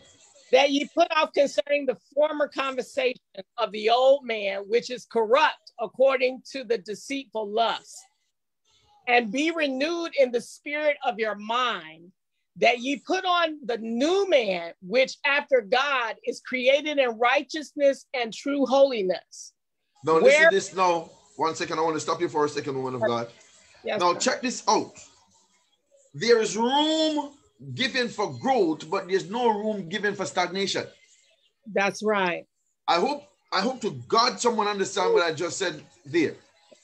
Yes, sir. There's room given to growth, but no room given to stagnation. Jesus. So someone that's a young Christian coming in that is learning how to put on the new man because baptism or even you choosing is not Yeah. automatically cause you to be the new man based on what Paul is saying. That's right. So he said in 22 that he put off concerning the former conversation of the old man, which is corrupt according to the deceit, deceitful lust. 23, and be renewed in the spirit of your mind. That means, hey, you made a decision, but your mind still need to be converted, Yes. right? Yes. How do you know when you are converted for real, for real, and not just going through the growth? If you have been a Christian for a certain time and you are stuck, then you're stagnating, you're not growing. That's right. Come on then. That's right. There's a difference between stagnation and growth. Because when we find ourselves year after year doing the same madness, instead of admitting that I have stagnated, I said I am growing. That's right. Abomination, life from the pit of hell. So he said here in 24, Yes, sir. and that he put on the new man, which is after God is created in righteousness and holiness. That means he's saying, hey, if if if if if you are just coming to Christ and you find yourself still struggling with a lie, don't worry, we're going to make sure that you stop lying. Come on, Yes, sir. can you still hear me? Yes, sir. I can. If you are coming into God and you find you're still having the lust of the flesh and you still have certain things like fornication and adultery knocking at your door, we're going to make sure, as men and women of God, that these things no longer knock at your door. That's right. But, someone say, but, But if year after year after year, you're using mhm, growth as an excuse for sin, someone say you have stagnated. you're stagnated. That's not growth. If you're in the same No. position year after year after year, then that's not let's not make excuse for sin in that state. You're you're not stagnant. But I got good news for you. Even if you're stagnant, if you're not dead, there's hope. That's right. Hallelujah. As long as you're not dead, you can get back into the, the, the growing lane and not in the stagnated lane. Amen. And we, as men and women of God, must assess ourselves to check and see if we have stagnated or we are growing. That's right. And we should know the difference, right? Yes, That's sir. true. Okay, 25. Let's see Wherefore, what 25 says, woman of God. wherefore putting away lying, speaking every man truth with his neighbor, for we are members one of another. And when he said putting away lying, it, it, it, it, it means false doctrine, telling Yes. lies. It means everything that is wrong and not just, oh, the, the, the cup is pink and it's blue. That's right.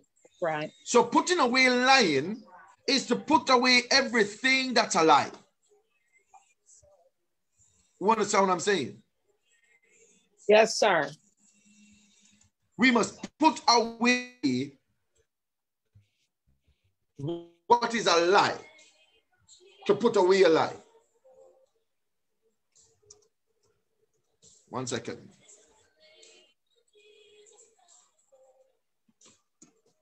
So we can actually do that, then we know that we'll be just fine. Amen. But we must put away the lie. Amen. If you put away the lie, then we'll be okay. That's right. All right. We've just read Ephesians 4 11 to 25. I'm hoping someone is learning something. Yes, sir. It's very good. First Corinthians 13. Yes, sir. Before we move on to First Corinthians 13, do we have any questions based on what we're discussing, based on what we have read just now? Anyone? Are there any questions? No, sir. Okay, so we good. Sister Kimberly's hand is up, the old hand. All right, Sister Kimberly, go for it, woman of God.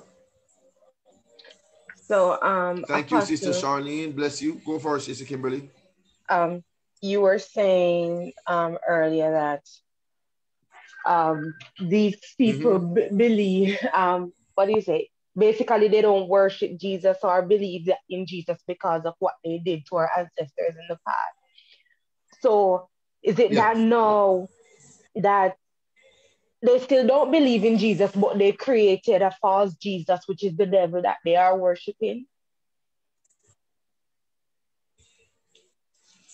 Because All right, so put it like this. If I come in, all right, I'm sorry, go on. I thought you were finished. No, I'm saying because you have some of these people out here now saying that Jesus is a man on a ship, and this, you have others saying that Christianity is just a business or they're just using Jesus to collect money and stuff like that.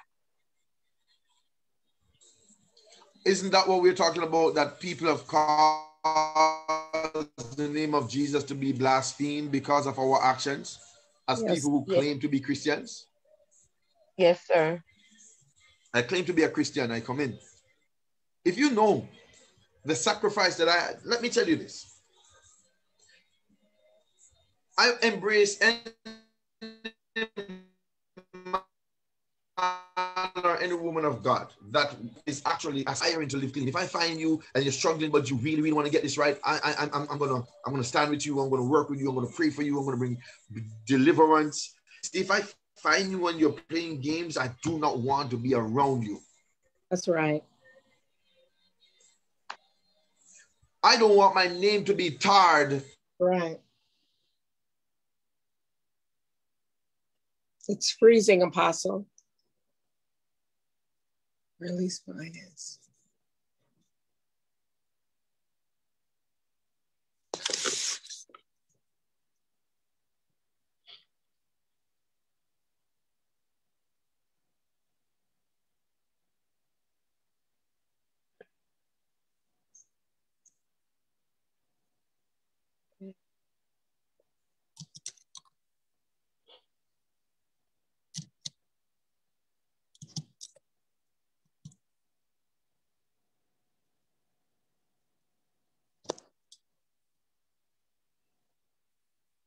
He got kicked out. Yes. Yes, I'll be back.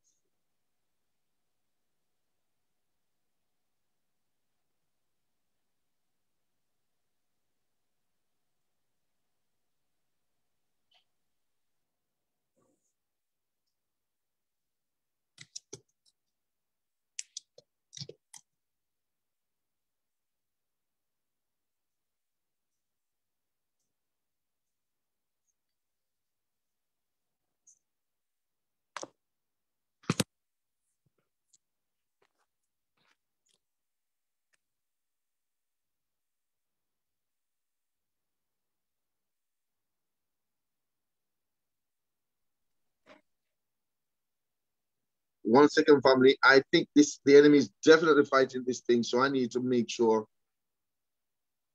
Let me turn on this. Can you guys hear me by the Yes, sir. Okay. I know it must be on Facebook. Let me tell you something. The enemy don't like when you bring these kind of teachings. So we got to fix this quickly, right? Man. Amen. But if he thinks that I am deterred, I am not. Who is with me? Amen. Yes. Amen. Amen. All right, let me see something. Amen.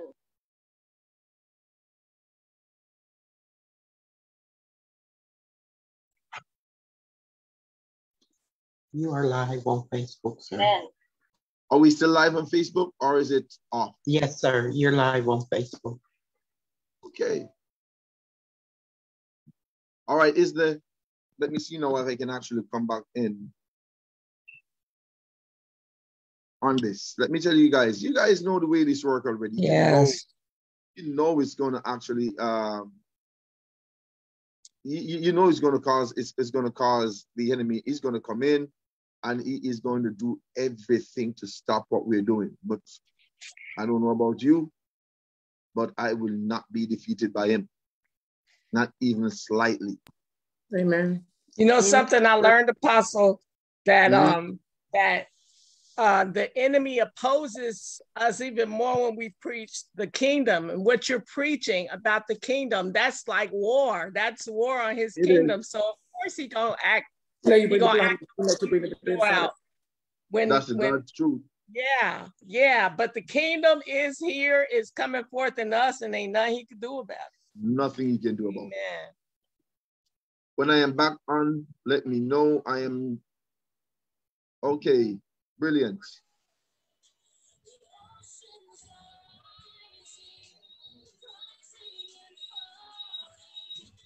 Give me a second. Let me turn this thing off on this side.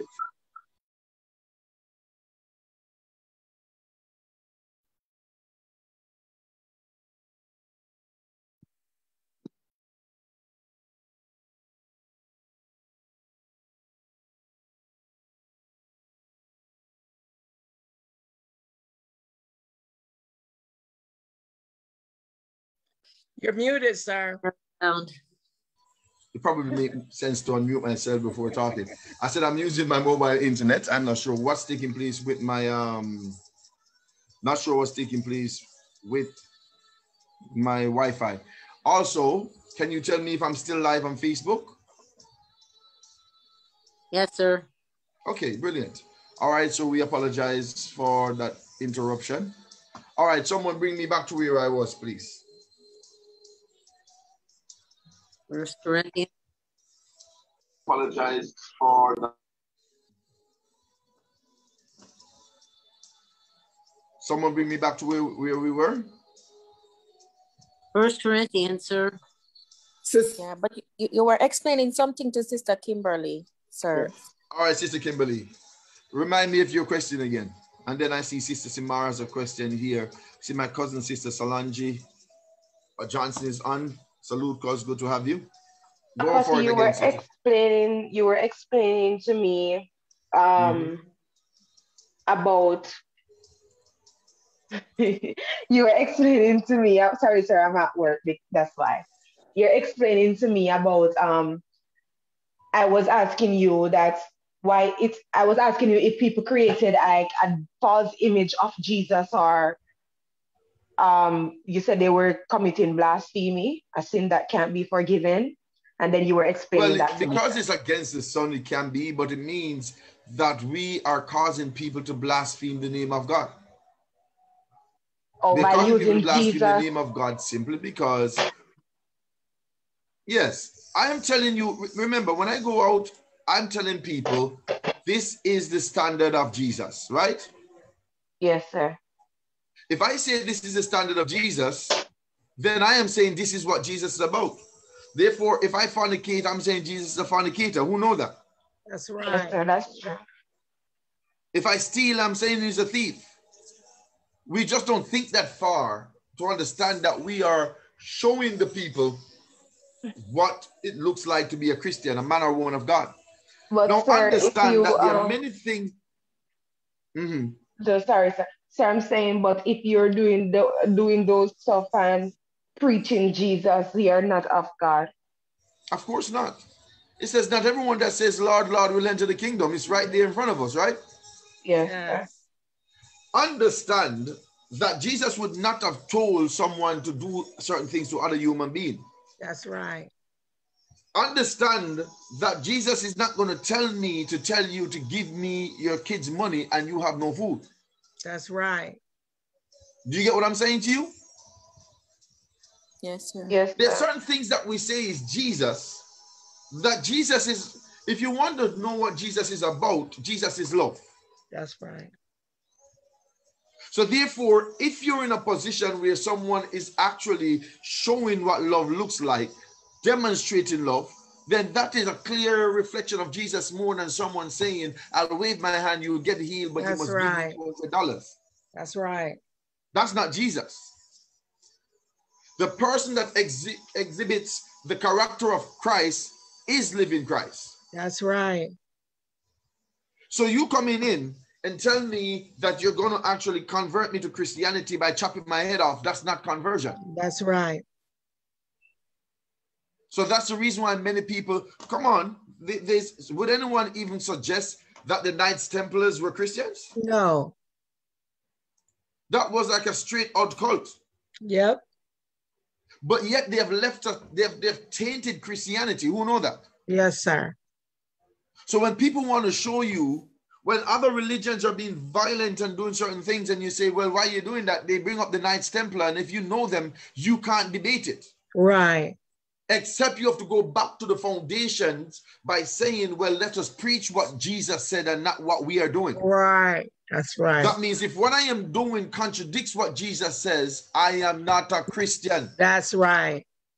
So stop using apostles and prophets and men and women that are in church to determine if it's God and start using Christ to determine what's of God. That's right. You notice that Paul said in one scripture that they're preaching another Christ. That's right. So if we're not going based on the precepts of Jesus, then I'm no represented, I'm no representation of Jesus. That's right. So search for Jesus in the man or the woman to determine if the man or the woman is of God. And if you can't find Jesus in the man or the woman, then I would propose that the man or the woman is not of God. Or about That's right. Irrespective of who the person is, irrespective of the person of power. That's right. What about those who come to God genuine, but you found out? Come on, this thing is. Yes. What about those who came to God genuine, but then you found out that their mindset is tainted? How does that um, recuperate? Uh, how do they recuperate from, from that? All right, let me explain something to you. I met a lot of persons who were Christians but had wrong doctrine. Any Christian, if you find yourself searching for God and you find yourself in a cult, I promise you, you're coming out. I'm not guessing if you're coming out because those who are pursuing truth will find Christ. Amen. That's the assurance I have. Yes. How do I know it? I wasn't looking for Jesus, I was pursuing truth. And in my pursuit of truth, I found Christ. So I am confident that even if you if you found yourself in witchcraft and you feel like being a witch is something good because you're not killing people, then the God that you're pursuing will show you that witchcraft is wrong and you will come out of it. Come on, then. That's right. That's right. I'm fully, fully, fully convinced Yes. that if you are in a certain denomination that you know is not of God, but you didn't know when you joined it, if That's your right. truth is truly God, God will expose you to Yes, truth. will. So I am not worried about people who are caught in the lie. I'm worried about people who are not caught, uh, who are not pursuing truth. I am fully convinced that any brother or sister that is pursuing the one true God, but was introduced to a lie, that God will take his own out.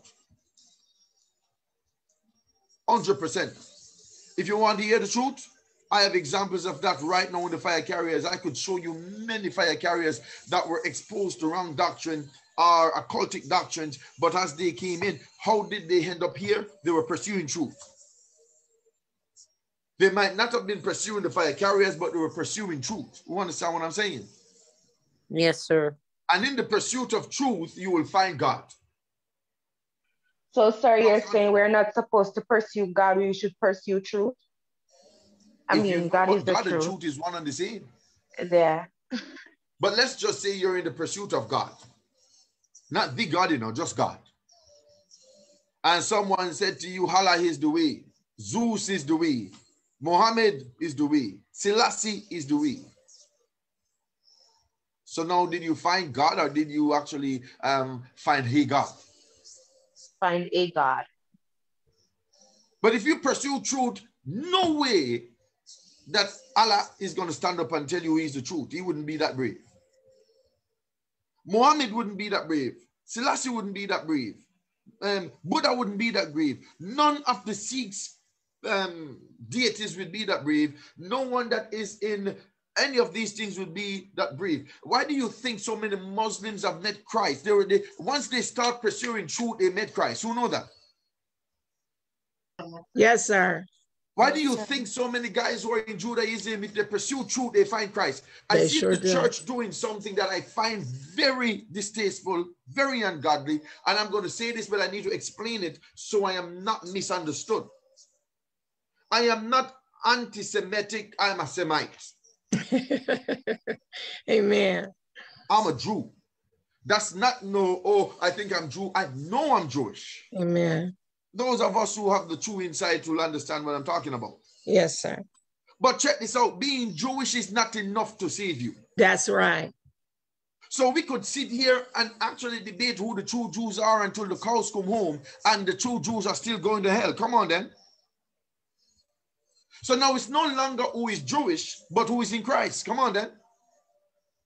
So listen what I see happen that I don't agree with. I see people embracing, I see people embracing um Jewish customs and they're incorporating Jewish customs into Christianity. Yes. Who know why that is ungodly? Because that's all a shadow and he's already come. Why, They are looking for common ground with a custom that says that Jesus is fake. Mhm. oh, wow. Oh, let me wear this on my head and let me blow this. Blow what, mate? They are telling you right now that the people. Let me tell you this if you don't want to know. I, I- I hope I'm not di- I, I hope I'm not being diverted to something else, but I need to tell you this. Can I tell you this? Yes, sir. Speak. You cover your head to try and be Jewish. It says that the Messiah has not yet come. Who understand that? That's right. That's right. You blow the shofar to be more Jewish. It says that the Messiah has not yet come. So if you really, really want to be a part of these systems, you go in and you do you know that the people you're forcing to be like dismiss everything that started Matthew, Mark, Luke, and John to Revelation? Who understand that? Mighty God. that they have dismissed the whole New Testament all the way to Revelation, and then you really are going in trying to embrace embrace what? Sir, it's lack of knowledge. It's lack of knowledge, but we will still pay for it. My God. You drink you drink poison with lack of knowledge, you need hospital still. Man.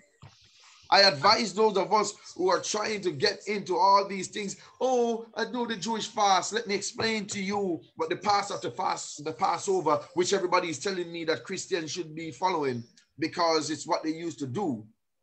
Guys who have not yet experienced the Messiah studied are still keeping the Passover That's right.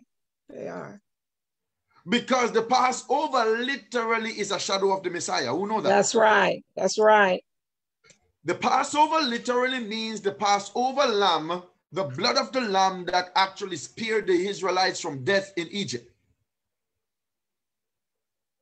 Yes, If you're sir. still using the Passover blood, then Jesus' blood is null and void in your life. Oh my God. So when we go in and we feel the need to do all these things, know what you're getting yourself into.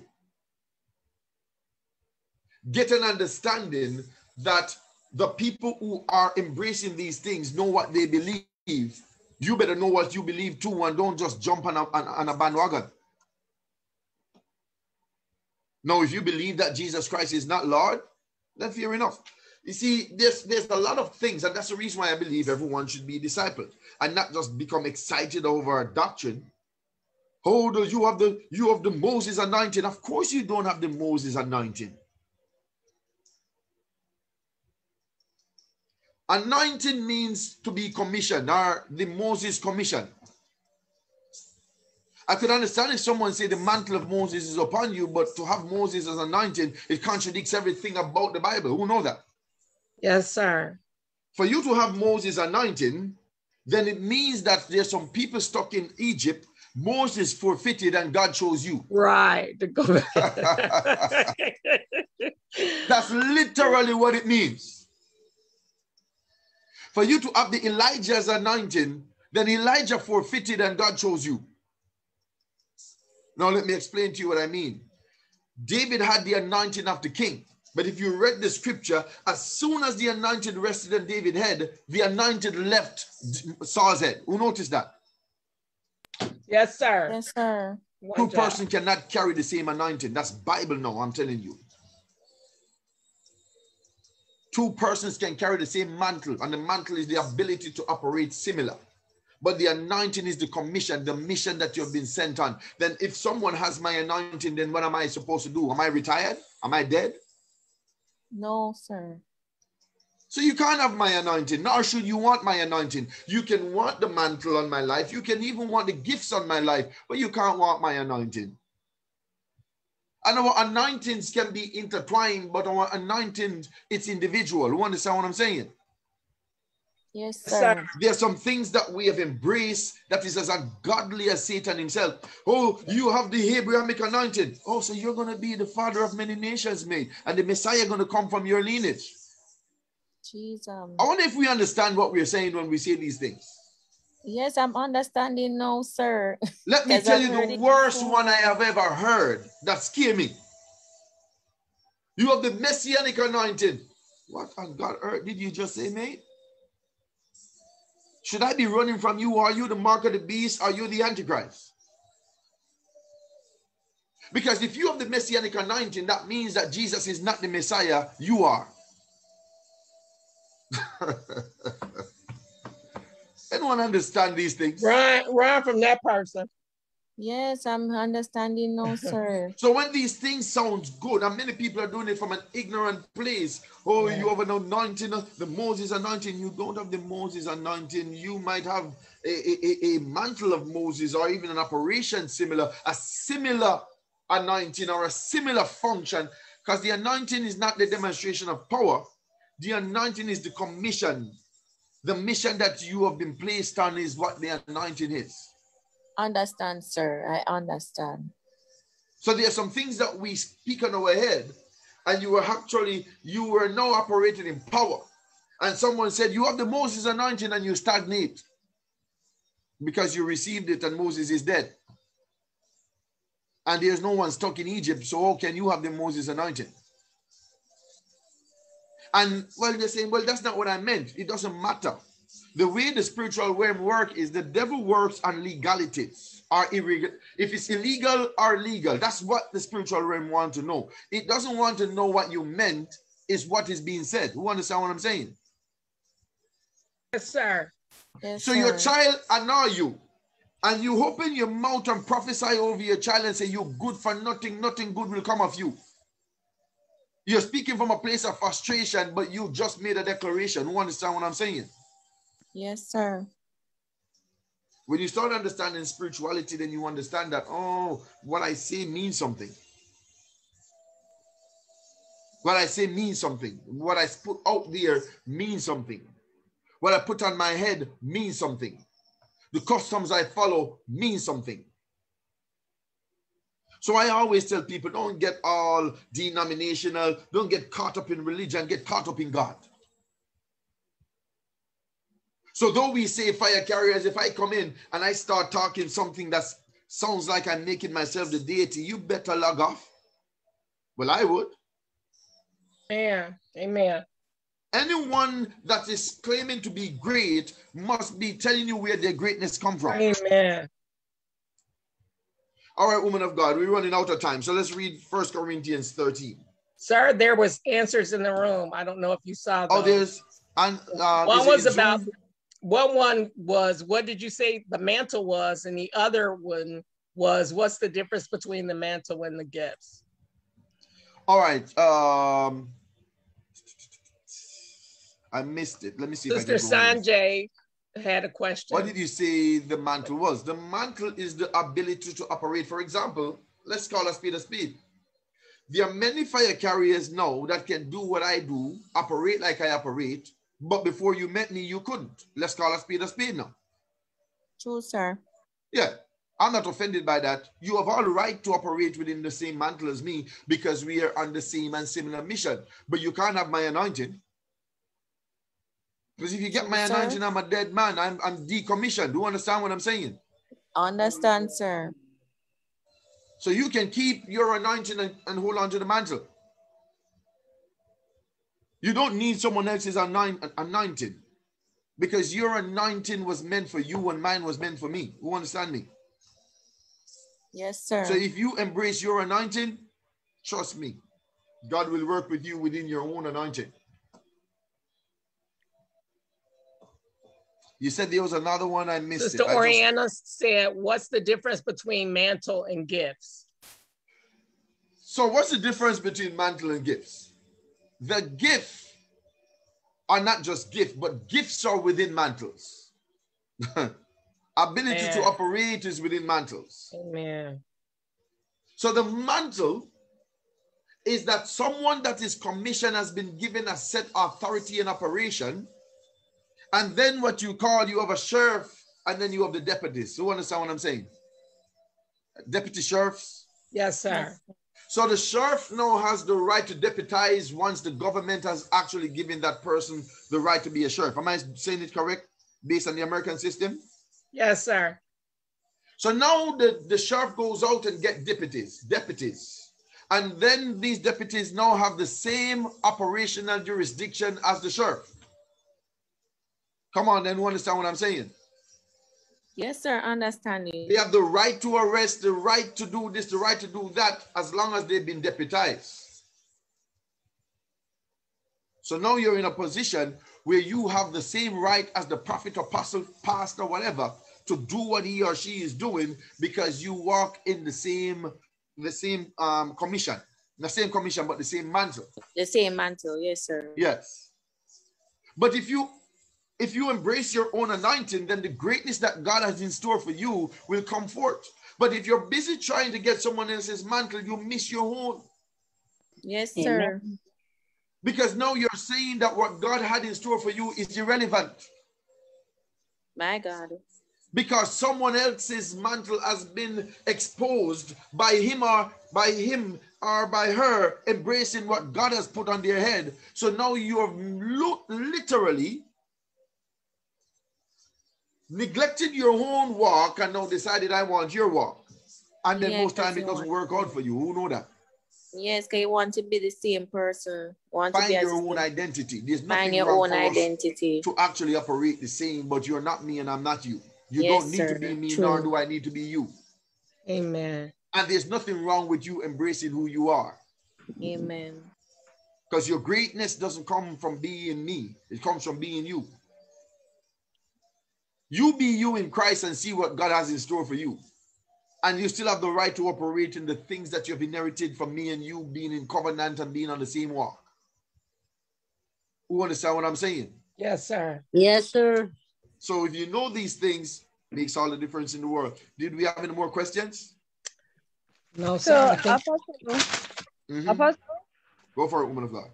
Um, with Elisha and Elijah, I don't, I don't remember the difference, but um, when one of them died, the other one, he must have said he wanted to be like the other, something like that. No, Would that notice. be him? I'm sorry, go on. Oh, I was saying, would that be him taking up his mantle instead of him actually walking in his own anointing? But if we did read Elijah's Uh, Elisha's story, we've read both, and we realize that they they both did great things. But the mantle he inherited from Elijah aided him in his walk, in his own walk with God, in his own mission with God. You understand what I'm saying?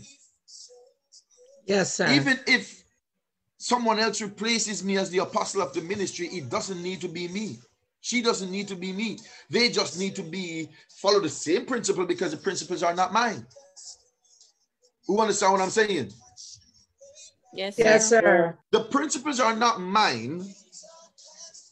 But if you go in and now I come to the end of this journey, I'm no longer over the fire carriers, and God has selected someone to go, you're going to have to go in and follow the principles, but do what God do within the principles and not what I am telling you to do. Who understand what I'm saying?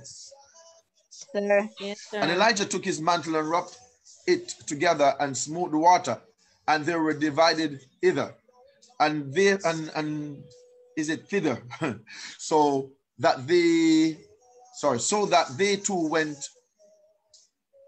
this thing I can't see clearly, over on dry ground. And it came to pass when they were gone over, Elijah said to Elisha, Ask what I shall do for thee before I be taken away from thee. And Elisha said, I pray thee that a double portion, a double, a double portion of thy spirit be upon me. Who understand that now? Yes, sir. What that literally means is a double portion of your operation, Yes. of your spirit. You understand what I'm saying? Yes, sir. No, thank you for sharing that, Sir Travis. You can put it in the room. It's Second Kings 28, it, um, 2, 2 Kings 2, 8 through 14. I didn't read the whole thing just now. But understand, who remember that there was also a time when Elijah did something and it did not re- react, and he said, The God of Elijah. That's right. That's right. Amen. He knew how to use the mantle. Bless you, Sister Janine. And understand that you have the right to use the mantle. But find out why am I telling you this? What I'm telling you is super important. Get to know who you are in God. I am not here. I'm here to inspire you, not to deter you. I don't want you to be so caught up in my walk that you miss yours. I don't want you to be so caught up in my anointing that you miss yours. Who understand what I'm saying? That's where mentorship come in. That's where discipleship comes in. All right, we had um, Lady Bridget that was asking a question. Woman of God, I see your hand is down, but I was just waiting to get to you. I really want to hear your question. Are you, what you Hi, have um, to do. Mhm. One sec. No worries. Yes. Um, I wanted to ask. Um, are you hear me? I can hear you. Yes, I wanted to ask. Um, in terms of our ancestors being enslaved, Yes. um, is it that the those persons who took our ancestors and who profess belief in Christ Mhm. was it done out of greed and also was it a curse coming from the enslavement of the Egyptians of the Israelites sorry Yes. Both is real. One, I know that it was being done out of greed. But I also know that a curse was upon our ancestors' head based on them turning away from God. That means they were being punished. But if you use the Bible, you will see that God used nations to punish his people all the time, but that doesn't mean these are the, the people that do it are justified. That's right. pay, right? You still pay. That's right. Understand that God used Nebuchadnezzar to um to enslave Israelites or to actually take them by force simply because of what um his people were doing. Right. So if you go throughout the, the Bible, you will see it happening over and over and over again that he will get invading forces to come and to put people in captivity based on exactly based on them actually not living up to their agreement, just their contract with him, That's their right. covenant with him. Mhm. So I would say both is right based on what you just asked, or what you just said. Thank you thank you You're welcome. Bless you. All right, where we at? Any more questions? If not, we're gonna read First Corinthians 13, and then once we get there, we'll bring this to an end. We're here, sir. All right, let's get there, woman of God. Though I speak with the tongues of men and angels and have not charity, I am become as a sounding brass or a tinkling cymbal. And though All I right. have the I want to I want to take you. I want to stop Okay. you at intervals at different.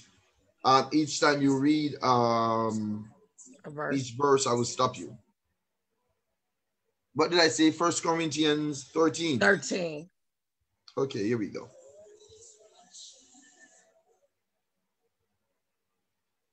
All right. So if he's saying you can speak with the tongues of men and of angels, but if you don't have love, you are you become a sounding brass and a tinkling cymbal. Can we then mm-hmm. actually say you can actually have all tongues of angel and of men and none of God? Because remember, Yes. God is love. Yes, sir. All right, then let's read two. And though I have the gift of prophecy and understand all mysteries and all knowledge. And though I have all faith so that I can remove mountains and have not charity, I am nothing. So you mean that you can tap into the spiritual where you have spiritual knowledge? Yes, sir. You have faith where you can actually cause things to happen, but you don't have God? Yes, sir. Yes, sir. Okay. Let's read on one more time, woman of God. And though I bestow all my goods to feed the poor, and though I give my body to be burned and have not charity, it profiteth me nothing. It's kind of weird, isn't it? Because based on what Paul is saying, it means people can be doing charity and even feeding the poor, but still can't stand them. Yes. My God. Yes. That Right. means not everything that is done, not every charitable act that is done is done from a place of charity. It's done from a place of love. That's right. Amen. That is the reason why I do not agree with churches that are actually feeding people and want people to see. Yes, sir. Imagine someone can't eat, and before you give them the dignity of eating in private, you put a camera in his face That's and feed him in, in public. That's right. That's right. So, though you just went in and did a good deed, but didn't do it from a place of love, it profits you nothing. Nothing. That's right. All right, let's read on, woman of God. Charity suffereth long and is kind. Charity envieth not. Charity vaunteth not itself, is not puffed up. Five, doth not behave itself unseemly, seeketh not her own, is not easily provoked, and thinketh no evil. Six, rejoiceth not in iniquity, but rejoiceth in the truth. Seven, beareth all things, believeth all things, hopeth all things, endureth all things. Eight, charity never faileth. But whether there be prophecies, they shall fail. Whether there be tongues, they shall cease. Whether there be knowledge, it shall vanish away. Stop there for a second, woman of God. Do you know that I have read this many times and I literally only found out what this meant, what this means this morning when I was actually looking at it for this? And I don't mean I went in and read it anywhere. I mean, I was just reading it just for the service, and the Lord showed me something and it blew my mind. There was so much to unpack above, but I'm not even going to touch it because I want to show you something from eight. Is it eight we just read? Yes, sir. Charity never faileth. All right, so can we change the word from charity again to To love, love. and from love Yes. to God? So can we Yes. actually read this Yes, sir. one more time? And I'm going to show you what he showed me this morning. I hope you are excited about this revelation as much as me. Yes, it sir. says, God never feel it. Go But whether there be prophecies, they shall fail. Whether That there be you can prophesy and it has nothing to do with God. And it will fail. Go on. yeah. whether Mhm. they be tongues, they shall cease. And Whether when you actually see, woman of God, I wondered what this meant, and I heard a million explanation. I understand it now. Where there is tongue, they shall cease. But he's always But understand this. What tongue is he talking about? Different language, where you get in a spirit, then a tongue. Yes, but you see, we have literally taken just the literal understanding of what is being presented, and we did not like sometimes we get in the habit, and, and- and I try my best not to do it, but it can happen to anyone where you put verses in isolation and you not we stop seeing that it's a part of a whole and it's not isolated, Huh. right? Look at this. Read seven for me one more time. Read six and seven, woman of God. Six, seven, eight, and I'm going to show you a pattern. I'm going to stop you at intervals. Yes, sir. Rejoiceth not in iniquity, but rejoiceth in the truth. Okay. Beareth all things, believeth all things, hopeth all things, endureth all things. Charity never faileth. In other words, if Long your tongues be in God, your tongues cannot fail. My God. If your prophecy is in God, Jesus. your prophecy cannot fail. Yes, yes, yes. No. Understand that we literally, literally are in a position where I don't know where it came from, but we thought, and I'm going to say we because I thought the same thing. I did. That it means that oh, love is gonna eh, that that that, that tongues is gonna fail. That's right. That's and prophecy is going to fail. But Paul was telling us all along that anything that is not underpinned by love is it fails. It fails. Yeah. It's he literally started the statement by saying, what did he say? Okay. Love never, Never fails. fails. Sister Judy. So if love never fails and we know that God is love, so can we now actually just say it as it really is saying? God never fails. But when you have prophecy without God, it fails. Yes. Mhm. That's And so where you have tongues without God, it fails. Yes, sir. Hmm? God Almighty. Oh, I love you. And I where you have you. knowledge without God, it vanishes away. Yeah. Amen. My God. Huh? Yes. For listen what Paul said in prophecy now. He's telling you prophecy without God because God Almighty, I needed clarity, clarity for this for years because I found this thing disturbing.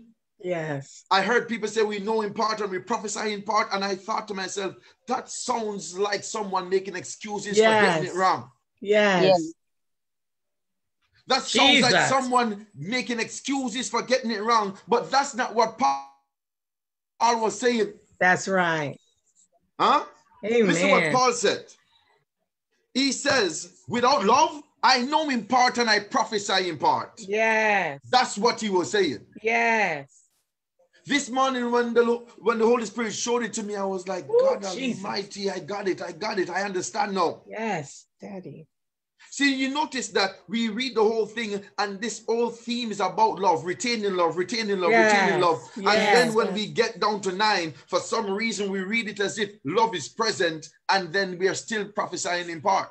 Yes. Mm-hmm. What Paul was saying is if Paul, if, if love is not there, because what? Love never fails. So how can my prophecy fail when I'm prophesying in love? Jesus. God never failed. So how can my prophecy fail when I am prophesying through Christ? God is love. God is love. So check this out. Mm-hmm. He's saying, hey, listen to me. He says prophecy will fail. That means if you don't have God, prophecy will fail. That's right.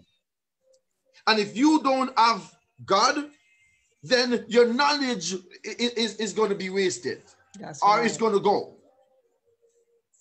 I just couldn't believe it when he showed it to me because that was something that disturbed me because I have heard it used as Yeah. excuse for getting prophecy wrong. You understand what I'm yes. saying? Yes, sir. I have two.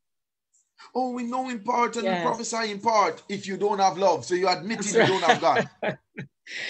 Jesus. Hmm? But listen what 10 says, man. And I, I can't dance because I'm sitting down, but God Almighty. When I read it this morning and He showed it to me, I was having a conversation with God. And when I saw this, I was like, God Almighty, I, I, I, I, I salute you for showing me this. Mhm. Hmm? So look what He said in 10, just to bring it on him. Huh? But when that which is perfect is come, then that which is in part shall God be done Almighty. away. Mighty God. When He who is perfect is functioning Yes. through me, Yes. that which is in part is gone. Done. Yes. Hallelujah. So this thing about us actually prophesying in part and knowing in part is an Jesus. admission we don't have God. Jesus. It's an admission we don't have love. Yes. Wow. Paul says, unless we are saying that he who is perfect have not yet come. That's That means the Holy Spirit in us is not the embodiment of perfection. Jesus.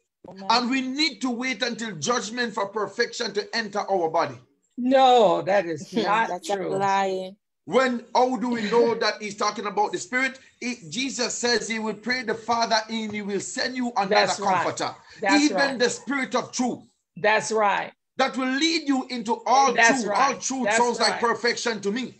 That's right. Sir. Who will lead you into all perfection. Yes. Mhm. The job of the Spirit of God is to bring perfection to people who are not perfect. Hallelujah. Yes, sir. The quicker we understand that we were making excuses for giving out a lie verdict, Jesus. And that goes for me, for you, for everyone. Let us hold ourselves accountable and not give ourselves a pass because you're the one that got it wrong or I'm the one that got That's it wrong. right. Let's repent. Let us Sir. seek truth and move That's on. That's right. That's right. Yes, accept it. But a lie is a lie, irrespective of whose mouth is coming from. That's Yes. right. All right, I see Sister Abena put her hand down, so I'm going to start with her first. I was just coming to the question. Go for it, woman of God. I'd like to hear what you have to say. So, Apostle, this is my Mhm. question. If Yes. someone has prophesied over your life like 20, 30 years ago and it has not come into tuition, that means he's, he's prophesying from ego and not from God then. I want to tell you a secret. How prophecy works. Whatever God says must come to pass. But sometimes we see a vision and we call it a prophecy. You understand what I'm saying? What is seen is subject to change, but what is spoken can never be changed. You understand that? Yes, sir. Amen. Now, let me explain to you why this is so important. Hmm. I gave a prophecy about two and a half years ago when I came to Jamaica. It's about two and a half years since I've been here, right? Yes, sir. Yeah. Two. Two? Two and a half, pretty much, yeah. Yeah, somewhere there. So I gave a prophecy. I said it not based on my feeling, but based on what God said. I said it when I just came to Jamaica, but over the period of being in Jamaica and watching things play out, I wondered if it was going to actually happen the way I said it, except that I didn't say it. You understand what I'm saying? Yes, sir. And then the person I gave the prophecy would remind me, Apostle, remember you said this, I'm going to see if you're a man of God. And I thought, well, I know I'm a man of God. But I heard what God said. And let me tell you something. When it came to pass, it was so spot on. You ever seen one of those prophecies that you say what you hear and what God said, and you think to yourself, God, he didn't even have to go that that that straight. He could have literally been a little bit more, you know what I'm saying? Because you see God do it in such a way that your humanity kicks in and you're thinking to yourself, God Almighty, that doesn't even seem fear, but based on what God said, it is what God has said. You understand what I'm saying? Yeah. Prophecy. The first thing you should do is assess who prophesied over your life. Where were they? What place were they at when they prophesied over your life? There are things that we see that's subject to change. And we must now decide if we're prophesying something that is subject to change. Like, for example, you tell someone, it's like Jonah. God sent Jonah to Nineveh to, to warn the people. We know what the prophecy says that destruction is coming upon them. But Jonah wanted the prophecy to be so literal that he didn't want to warn them because he wanted them to actually have what the prophecy warned of. You understand what I'm saying? Yes, sir. Yes, sir. There are certain things that God has spoken that our words, our actions will change it from happening because it's a warning and not a, and not a conclusion. You understand what I'm saying? Understand? So when someone gives prophecy, there are some things that must be taken in in consideration. Is it a prophecy based on action? For example, there's prophecies in the Bible where Israel was given prophecies by God coming out of Egypt. And if you do this, you're going to do this and you're going to do that, and that's going to happen to you, and all this is going to happen. But if you do not follow my precepts, then I will cause this to come upon you and cause that to come upon you. So that's the part of prophecy that many people do not actually take the responsibility to do. You understand what I'm saying? Understand, sir. Understand. Where I come in and I tell you the things, but I don't tell you the contingency or tell you, I should say, the, the impact if you choose not to follow what, what were the instruction. Is it a prophecy without instruction or a prophecy with instruction? These are things that when we are speaking need to be presented and need to be made plain. Also, is it something that God said or something that I am feeling? if I'm a spiritual person, then it also comes down to is it something that I'm picking up from you? What if I tell you that your desire can be to have a husband, and I will literally come in, tap into what you're feeling, and start prophesy that you're going to have a husband and not prophesy that you need to get your life in order? Who know that? That's right. That's right. Yes, sir. So this spiritual thing and this prophecy thing is much deeper than we would actually like to to to to, to um to admit. But if someone prophesied something 20 years ago and it didn't come to pass, then it's time for you to go in and to see if the breach is on your hand, on the person's hand, or was it something that was not even meant to actually be spoken in the first place at that point. Amen. And if you can do an assessment to see if there's a breach, because that doesn't necessarily mean there's a breach because it took 20 years either. Who know that? That's right. That's uh-huh. right. True, true. But through our spiritual highs and through our spiritual senses, you can now go in and ask, did that person prophesy in part without love, or did they prophesy through love? And if that person prophesied through love, it shall come to pass. Okay. But if the void, if if if, if love is missing, then it profits us nothing. That's right. That is the reason why I do not allow everyone to prophesy over my head. Amen. Amen. Even if what you're prophesying is correct, if it's not coming from a place of love, it's not coming from a place of truth. That's right. So I have people who have prophesied some really, really good things over my head, and I'm like, back to your belly, back to your belly, back to your belly.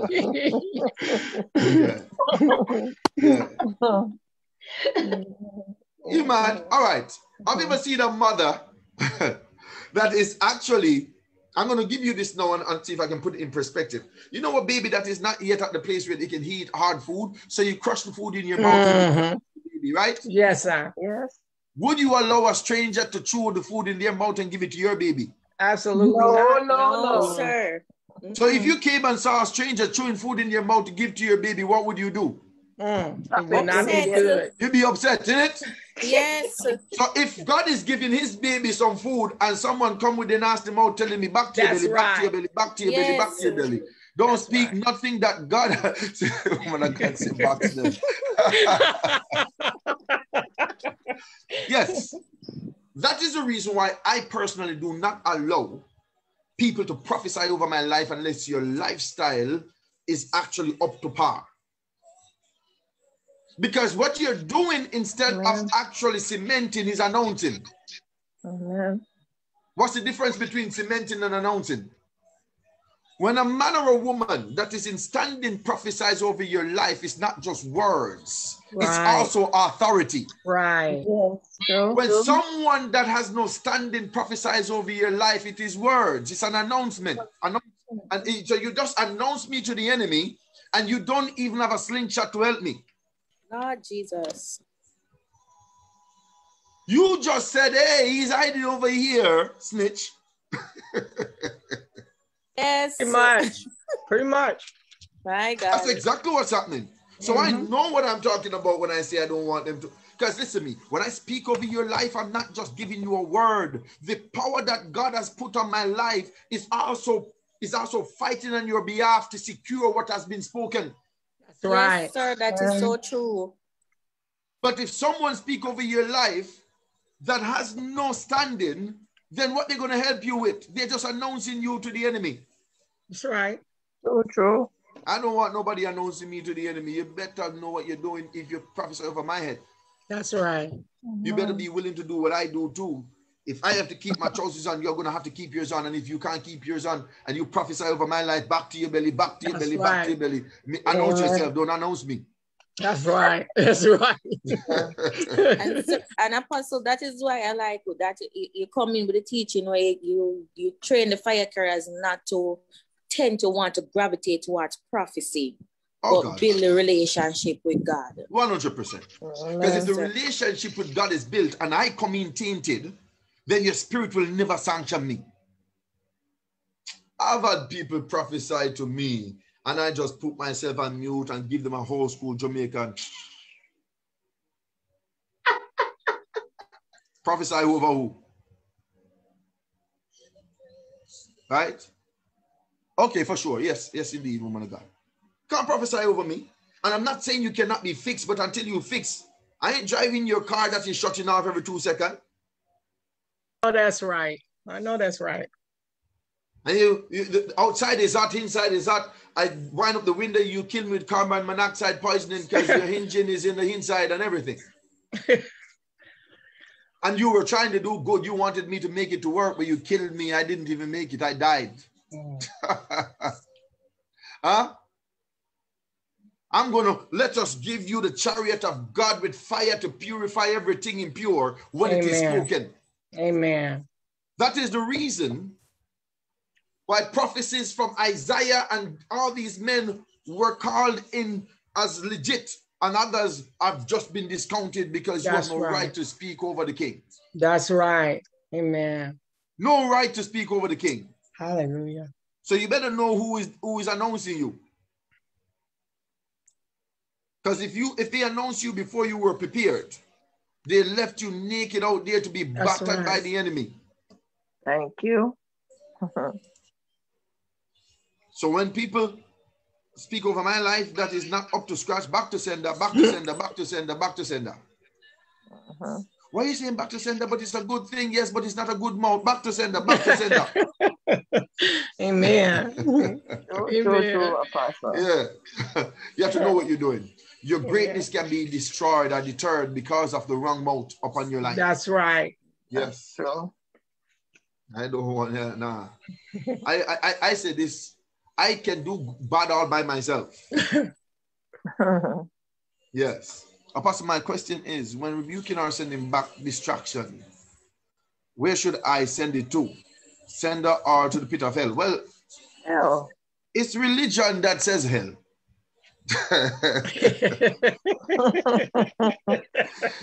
hell is not yet in terms of the fire. Yes. Uh-huh. So if you send it back to hell, it's going to go out of a cheeseburger and come right back to you. Wow. I don't, you get what I'm saying? Yeah. Mhm. Yes, sir. How you send it back to hell? And it's like, oh wow, he doesn't know that there's no hell yet, and she doesn't know that there's no hell yet. All right, let us wait like one week so, so they think we're in hell, and then go give them hell. Uh-huh. huh? If it was sent to me, I send it back to where it's from. Oh. Amen. So the sender literally means if it's from the dry places, go back to the dry places. Exactly. it is. If a Ah. witch sent you back to the witch, Ah. if a wizard sent you back to the wizard, wherever you came from, I am sending you back to vengeance to your place of origin. How about that? Yes, sir. But don't send it to hell. I, I don't, sometimes I don't correct people because when they say it, if you correct them, they'll be offended. But you're sending something to hell when hell is not even manifested yet. Nothing is in hell right now. Okay, Amen. Amen. Amen. So you're like, so in other words, when you say back to hell, all you're saying is, it, it- whenever God calls the day of judgment, you're going to be punished. Well, it, duh, of course. but I want you to be punished right now. How about that? right. That's right too long, now. Apostle, to wait. So you notice that when I want That's them to feel hell, what do I say? Who, who have heard me say it before? I Foretaste give of you a hell. foretaste of hell. Where, sir? I give you a foretaste of hell. That means hell ain't, you ain't gone to hell yet, but I'm bringing hell to you. How about that? Let you feel the fire. Yes. I'm going to torment you in 2021, though I don't know when judgment is coming yet. You're getting tormented today because you were dumb enough to touch me. That's right. You can get it. Oh, yeah. You send it back to hell, and it will literally go have a picnic with his mates and say, ah, them people don't really know what they're doing. You know, Right. That's right. Yes, you know spiritual legalities means we can't just talk, but we should know what we're talking about, you know? True, true. If hell has not yet been manifested and you send someone to hell, what, what's going to happen? Where they going to? Nowhere. Oh, yeah. It's like someone gave me $1 million US and say, give it to your older brother. I'd be laughing my head off. I have no older brother. You just gave me one million dollars. Thank you. Understand wording is everything. Legality, Yes. you understand what I'm saying? Yeah. So it's not because we might be passionate about it, but that doesn't mean it's effective. That's right. Legalities. The enemy is not afraid of you, he's afraid of legality. He's afraid- of God. That's right. All right, all right. So, so what about those who gave who have vision about hell with Satan sitting on his throne? There is no throne in hell for Satan. The only hell, the only throne is hell is the throne of God. I know it makes people uncomfortable because we don't, we have been misled on what hell is about. Hell is a righteous place that brings judgment against sin. If you want to know who's executing judgment in hell, it's God, not the devil. I There know is that. no throne. Yes, sir. I know that. The devil presently sits on the throne, but I guarantee you when he goes to hell, he will not be sitting on no throne. Not one. He will be tied up. And asks, water, water, I need water. No, you get fire. Now, the first time I thought that hell is a holy place, I know it rub people wrong, but I'm going to tell you something. It's the truth. Hell is a holy place because unrighteousness cannot bring judgment against unrighteousness. Come on then. Teach So you us. must now hmm. ask yourself this question Who is it that's administering judgment in hell? The devil or God? God. Of course. So, Mighty so hell is a holy place, true? Yes. Oh my God.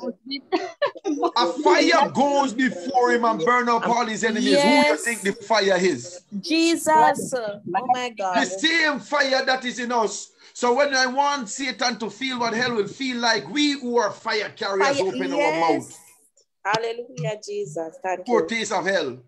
Because the fire that will torment you in hell is already living in me. Huh? Amen, Apostle. The fire of God is what administer judgment. Not the devil is not has no jurisdiction, no operation, no power, no nothing when he goes to hell. He's just subject to judgment, subject to the fire. Why do you think demons, when we send the fire, demons be coming out so violently with people vomiting demons and demons screaming? Is because we are tormenting them. The same fire that we use now, only thing that it might be temporary now, but it will be permanent at that point. But understand that the fire in hell is the Holy Spirit. Who understand that? Yes, sir.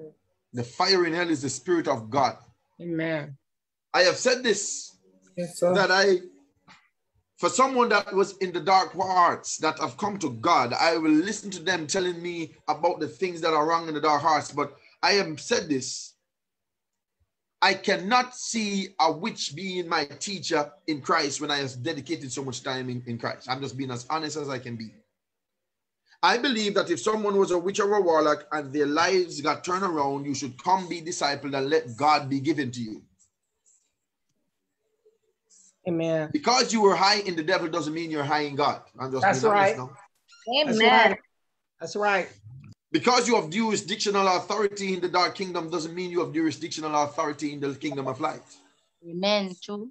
And if you see someone that was caught up in the dark hearts coming in, being great in the kingdom without being discipled, then th- th- th- they're in trouble, and whoever has entertained them is in trouble too. Because based on what the Bible just said, when we read um, Ephesians, then we, we are babes at first, aren't we?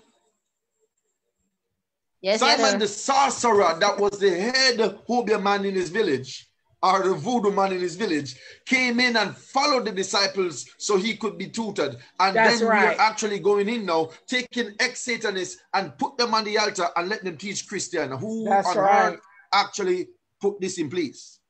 My God. And then if I it. say this, then they say, you're too arrogant. Oh, no, no, no, I'm not arrogant. No witch can't No. teach me about Jesus. That's I right. teach witch about Jesus. That's right. Amen. Amen. No Amen. warlock can teach me about Jesus. I teach warlocks about Jesus. Amen. So your mm-hmm. spirituality might be high in darkness, but come so I can teach you how to be high in light. Amen. We must be mentored. We must be tutored. Amen. Well, guys, I think we can actually, I don't even know. Let, us read on. Let's read on. Where we at, woman of God? Let me Uh, that. verse verse 11. Verse 11. Yes, sir. When I was Mhm. a child, I spake as a child. I understood as a child. I thought as a child. But when I became a man, I put away childish things. What does it mean? He says, when I was a child, that means when I did not have him who is truth, I told lies. Right. When I have him that is truth, I no longer tell lies. We must now receive the truth that is here now so we can walk in what God has in store for us. All right, 12 woman of God. For now we see through a glass darkly, but then face to face. Now I know in part, but then shall I know even as also I am known. Now, I hope you got that statement right that Paul said. Paul said, No, I know in part, but then I will know, know even as I am known. Yes. The first thing we should understand there's something that the church did a disservice to the, to the kingdom with. Do you want to hear it? Yes, sir. The church told us that perfection is not attainable on this side of life. They sure did. Yes, sir. The church told us that we're going to know more and have more wisdom and everything when we actually, if you're the new creation, then wisdom of everything is available to you now. Not the new. The only thing that we're still waiting for is to be put in the glorified body and to be That's given right. eternity. Amen. Amen. Everything else is actually accessible right now. That's right. If you think you need to wait until you die before you have certain things, then you're going to probably die before you get certain Yes, things. that's right. Thank you, That's right. Yes, sir. But if you can understand that, hey, understand this. He says, anyone be in Christ, you're a new creature. Not anyone that dies and go into the new world. That's right. Mighty Amen. God. Amen. Means He says, interpret behold, all scripture. things have passed away and all things have been made new. Not when you go into the new world, right now. But no, yes. That's right. Mhm. It says in Romans 8, and I can't remember the verse where it says, the creature, our creation, eagerly awaits the manifestation of the sons of God. Yes, sir. And I remember when I when, when the Lord gave me that revelation, and you hear us now as fire carriers saying that we are manifested sons and daughters of God. I was reading that. And I was so deep in the spirit, listening to God that the wind. Anyone ever felt the wind of God blowing? Yes, sir.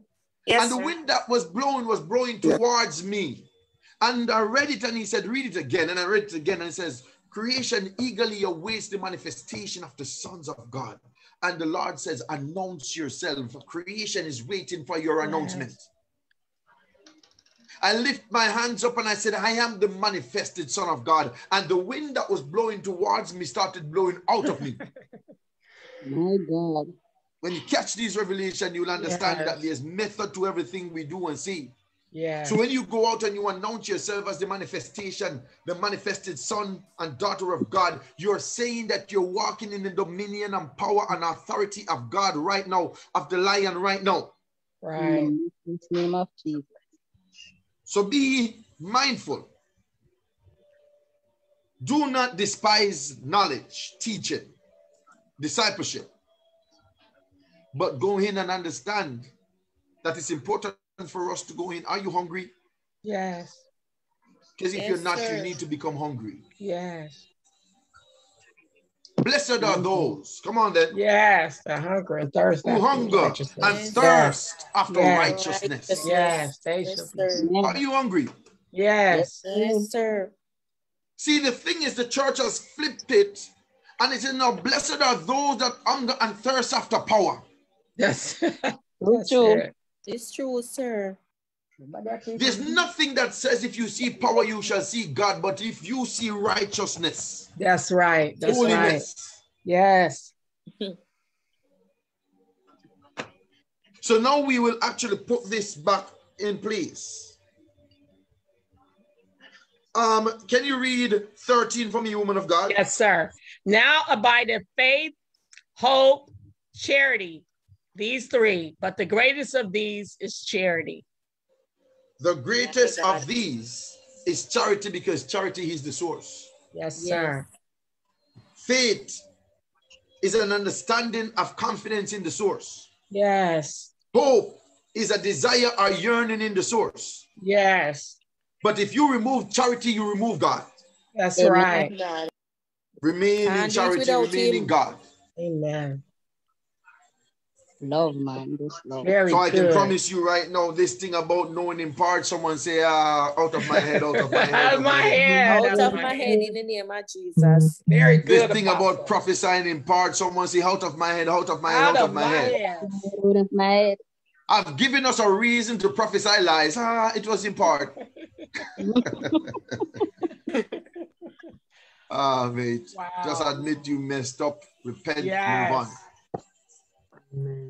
Well, I'm hoping that you guys enjoyed this session as much as me. But before I go, let us stand in agreement. Everyone on Facebook, everyone in Zoom, lift your, your right hand before God.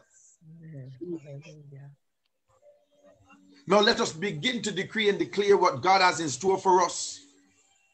Let us speak with the mouth of love so our decrees will never hit the ground. Come on then. Thank you, God. Amen. Amen. Hallelujah. Jesus. I speak with the mouth of love, with the mouth of God.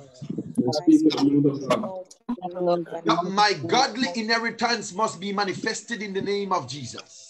Godly inheritance manifested in the name of Jesus. I speak with the mouth of charity, with the mouth of God. Hallelujah. I speak with the mouth of charity the mouth of God.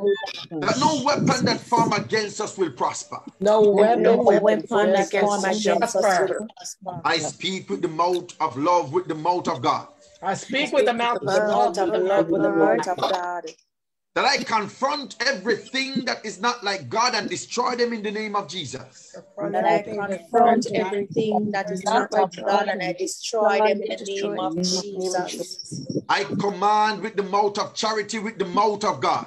I command with the mouth of charity with the mouth of God. You, my godly inheritance. You, my my godly godly inheritance. I command you to be manifested in the name of Jesus. I command you to be manifested in the name of Jesus. I speak with the mouth of charity, with the mouth of God. Hallelujah. I speak with the mouth with the of mouth charity of charity with with the mouth of God. We are the elect of God. We, We are, are the elect. elect of God. We have inherited the kingdom. We, We have have inherited. inherited the We have inherited his character. We, We have have inherited. inherited We have inherited his power. We have inherited inherited his his power. And anything And anything and anyone and anyone anyone that says contrary. that that that says says contrary. With the mouth of love, with the mouth of God, receive fire. mouth of the mouth of love, love, with with the the mouth mouth of of God, God, receive receive fire. fire In Jesus' matchless name. name. In Jesus' matchless name. Now, come on, one more prayer. Every stubborn Hallelujah. situation, Every stubborn situation, every ailment in our lives, our stubborn body, every ailment in our lives and our bodies, body, I speak with the mouth of love, with the mouth of God. speak with the mouth of love, with the mouth of God. Fall in line now in the name of Jesus. Fall in in line line now. now in the Every name of sickness, every disease, Every sickness, every every sickness and disease, every every demonic oppression, every every demonic demonic oppression. the mouth of love with the mouth of God. With the mouth of love, with the mouth of God. Be subject to the name of Jesus. Be subject to the name of Jesus. Hallelujah to your name. Hallelujah, Jesus. Hallelujah to name. Hallelujah. I hope to God that you will Hallelujah. adapt this as you, to your arsenal and learn how to pray with the mouth of God, with the love of God, and all things. He says, the mouth of God never fails, love of God never fails, but where there is prophecy, prophecy fails. Yes, sir. Hallelujah, Jesus. So I am not just prophesying, I'm prophesying with the mouth of God. Amen. The I'm mouth not of just declaring, but I declare with the mouth of God. Amen. And it shall not return void in the name of Jesus. In the mighty name And it of shall not fail in the name of Jesus. In the mighty name of Jesus. I hope you guys learned something. I see what you're saying, man of God.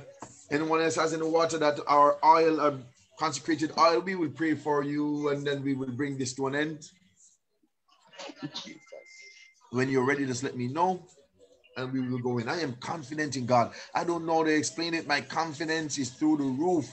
Like you so when the Lord showed me this this morning, I was like, God Almighty, thank you because I have been hearing these things for years that made no sense. I'm not sure what's happening, Lady Bridget. Uh, any guy, guys, can you hear me? Yes, sir. Okay. Yes, sir. Yes, sir. Okay. So it's on Lady Bridget's side. All right. Are we ready? I'm hearing now, Apostle. Okay, brilliant. Guys, I want you to be confident, you know. I'm excited My God. because I have the mouth of God. I have charity on my side. My God. Amen. I have love on my side. I have truth on my side. And if your prophecy, if anything you speak be underpinned by truth, by love, by charity, you cannot be defeated. Amen. Amen. All right, guys, when you have your water or your consecrated oil, whatever you have, we'll pray with you and we'll bring this to an end. Have them, sir. Have water. Yes, sir. Everyone ready? Yes, sir. Yes, sir. Now lift your water up, your oil up, whatever you have with the mouth of truth, with the mouth of God. Hallelujah. I impose the will of God upon this oil, this water, this drink, whatever you are actually holding.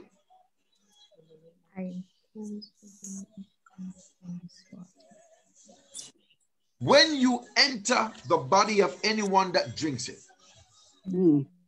you will bring healing with the mouth of God, with the mouth of truth. You will bring deliverance with the mouth of God, with the mouth of truth.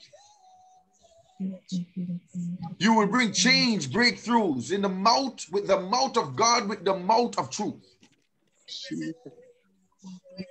We decree and declare that it is so and it cannot be an overturned with the mouth of God, with the mouth of truth. In Jesus' matchless name. Someone say amen. Amen. Amen. You go forth, give glory and honor to your God. I promise you, it's going to be amazing. I'm hoping that you will hold on to this revelation and live your truth in that area. Be disciple. Do not be afraid to be discipled. Your greatness will not be overshadowed by your discipleship. Amen. Amen. Amen. But your discipleship with the voice of God, with the voice of charity, will take you into all truth in the matchless name of Jesus Christ. In the mighty name of Jesus. Thank you, Jesus. Bless you, Thank you, woman of God, Sister Charlene. Thank you, guys. Bless you, Sister you, Betty. I'm talking on Facebook. Bless everyone that's coming in. I give God glory and honor for your lives. And we just thank God for what He's doing. And we will go forth in victory. Who is here for victory? Yes, sir. In I'm the here for name victory. Amen.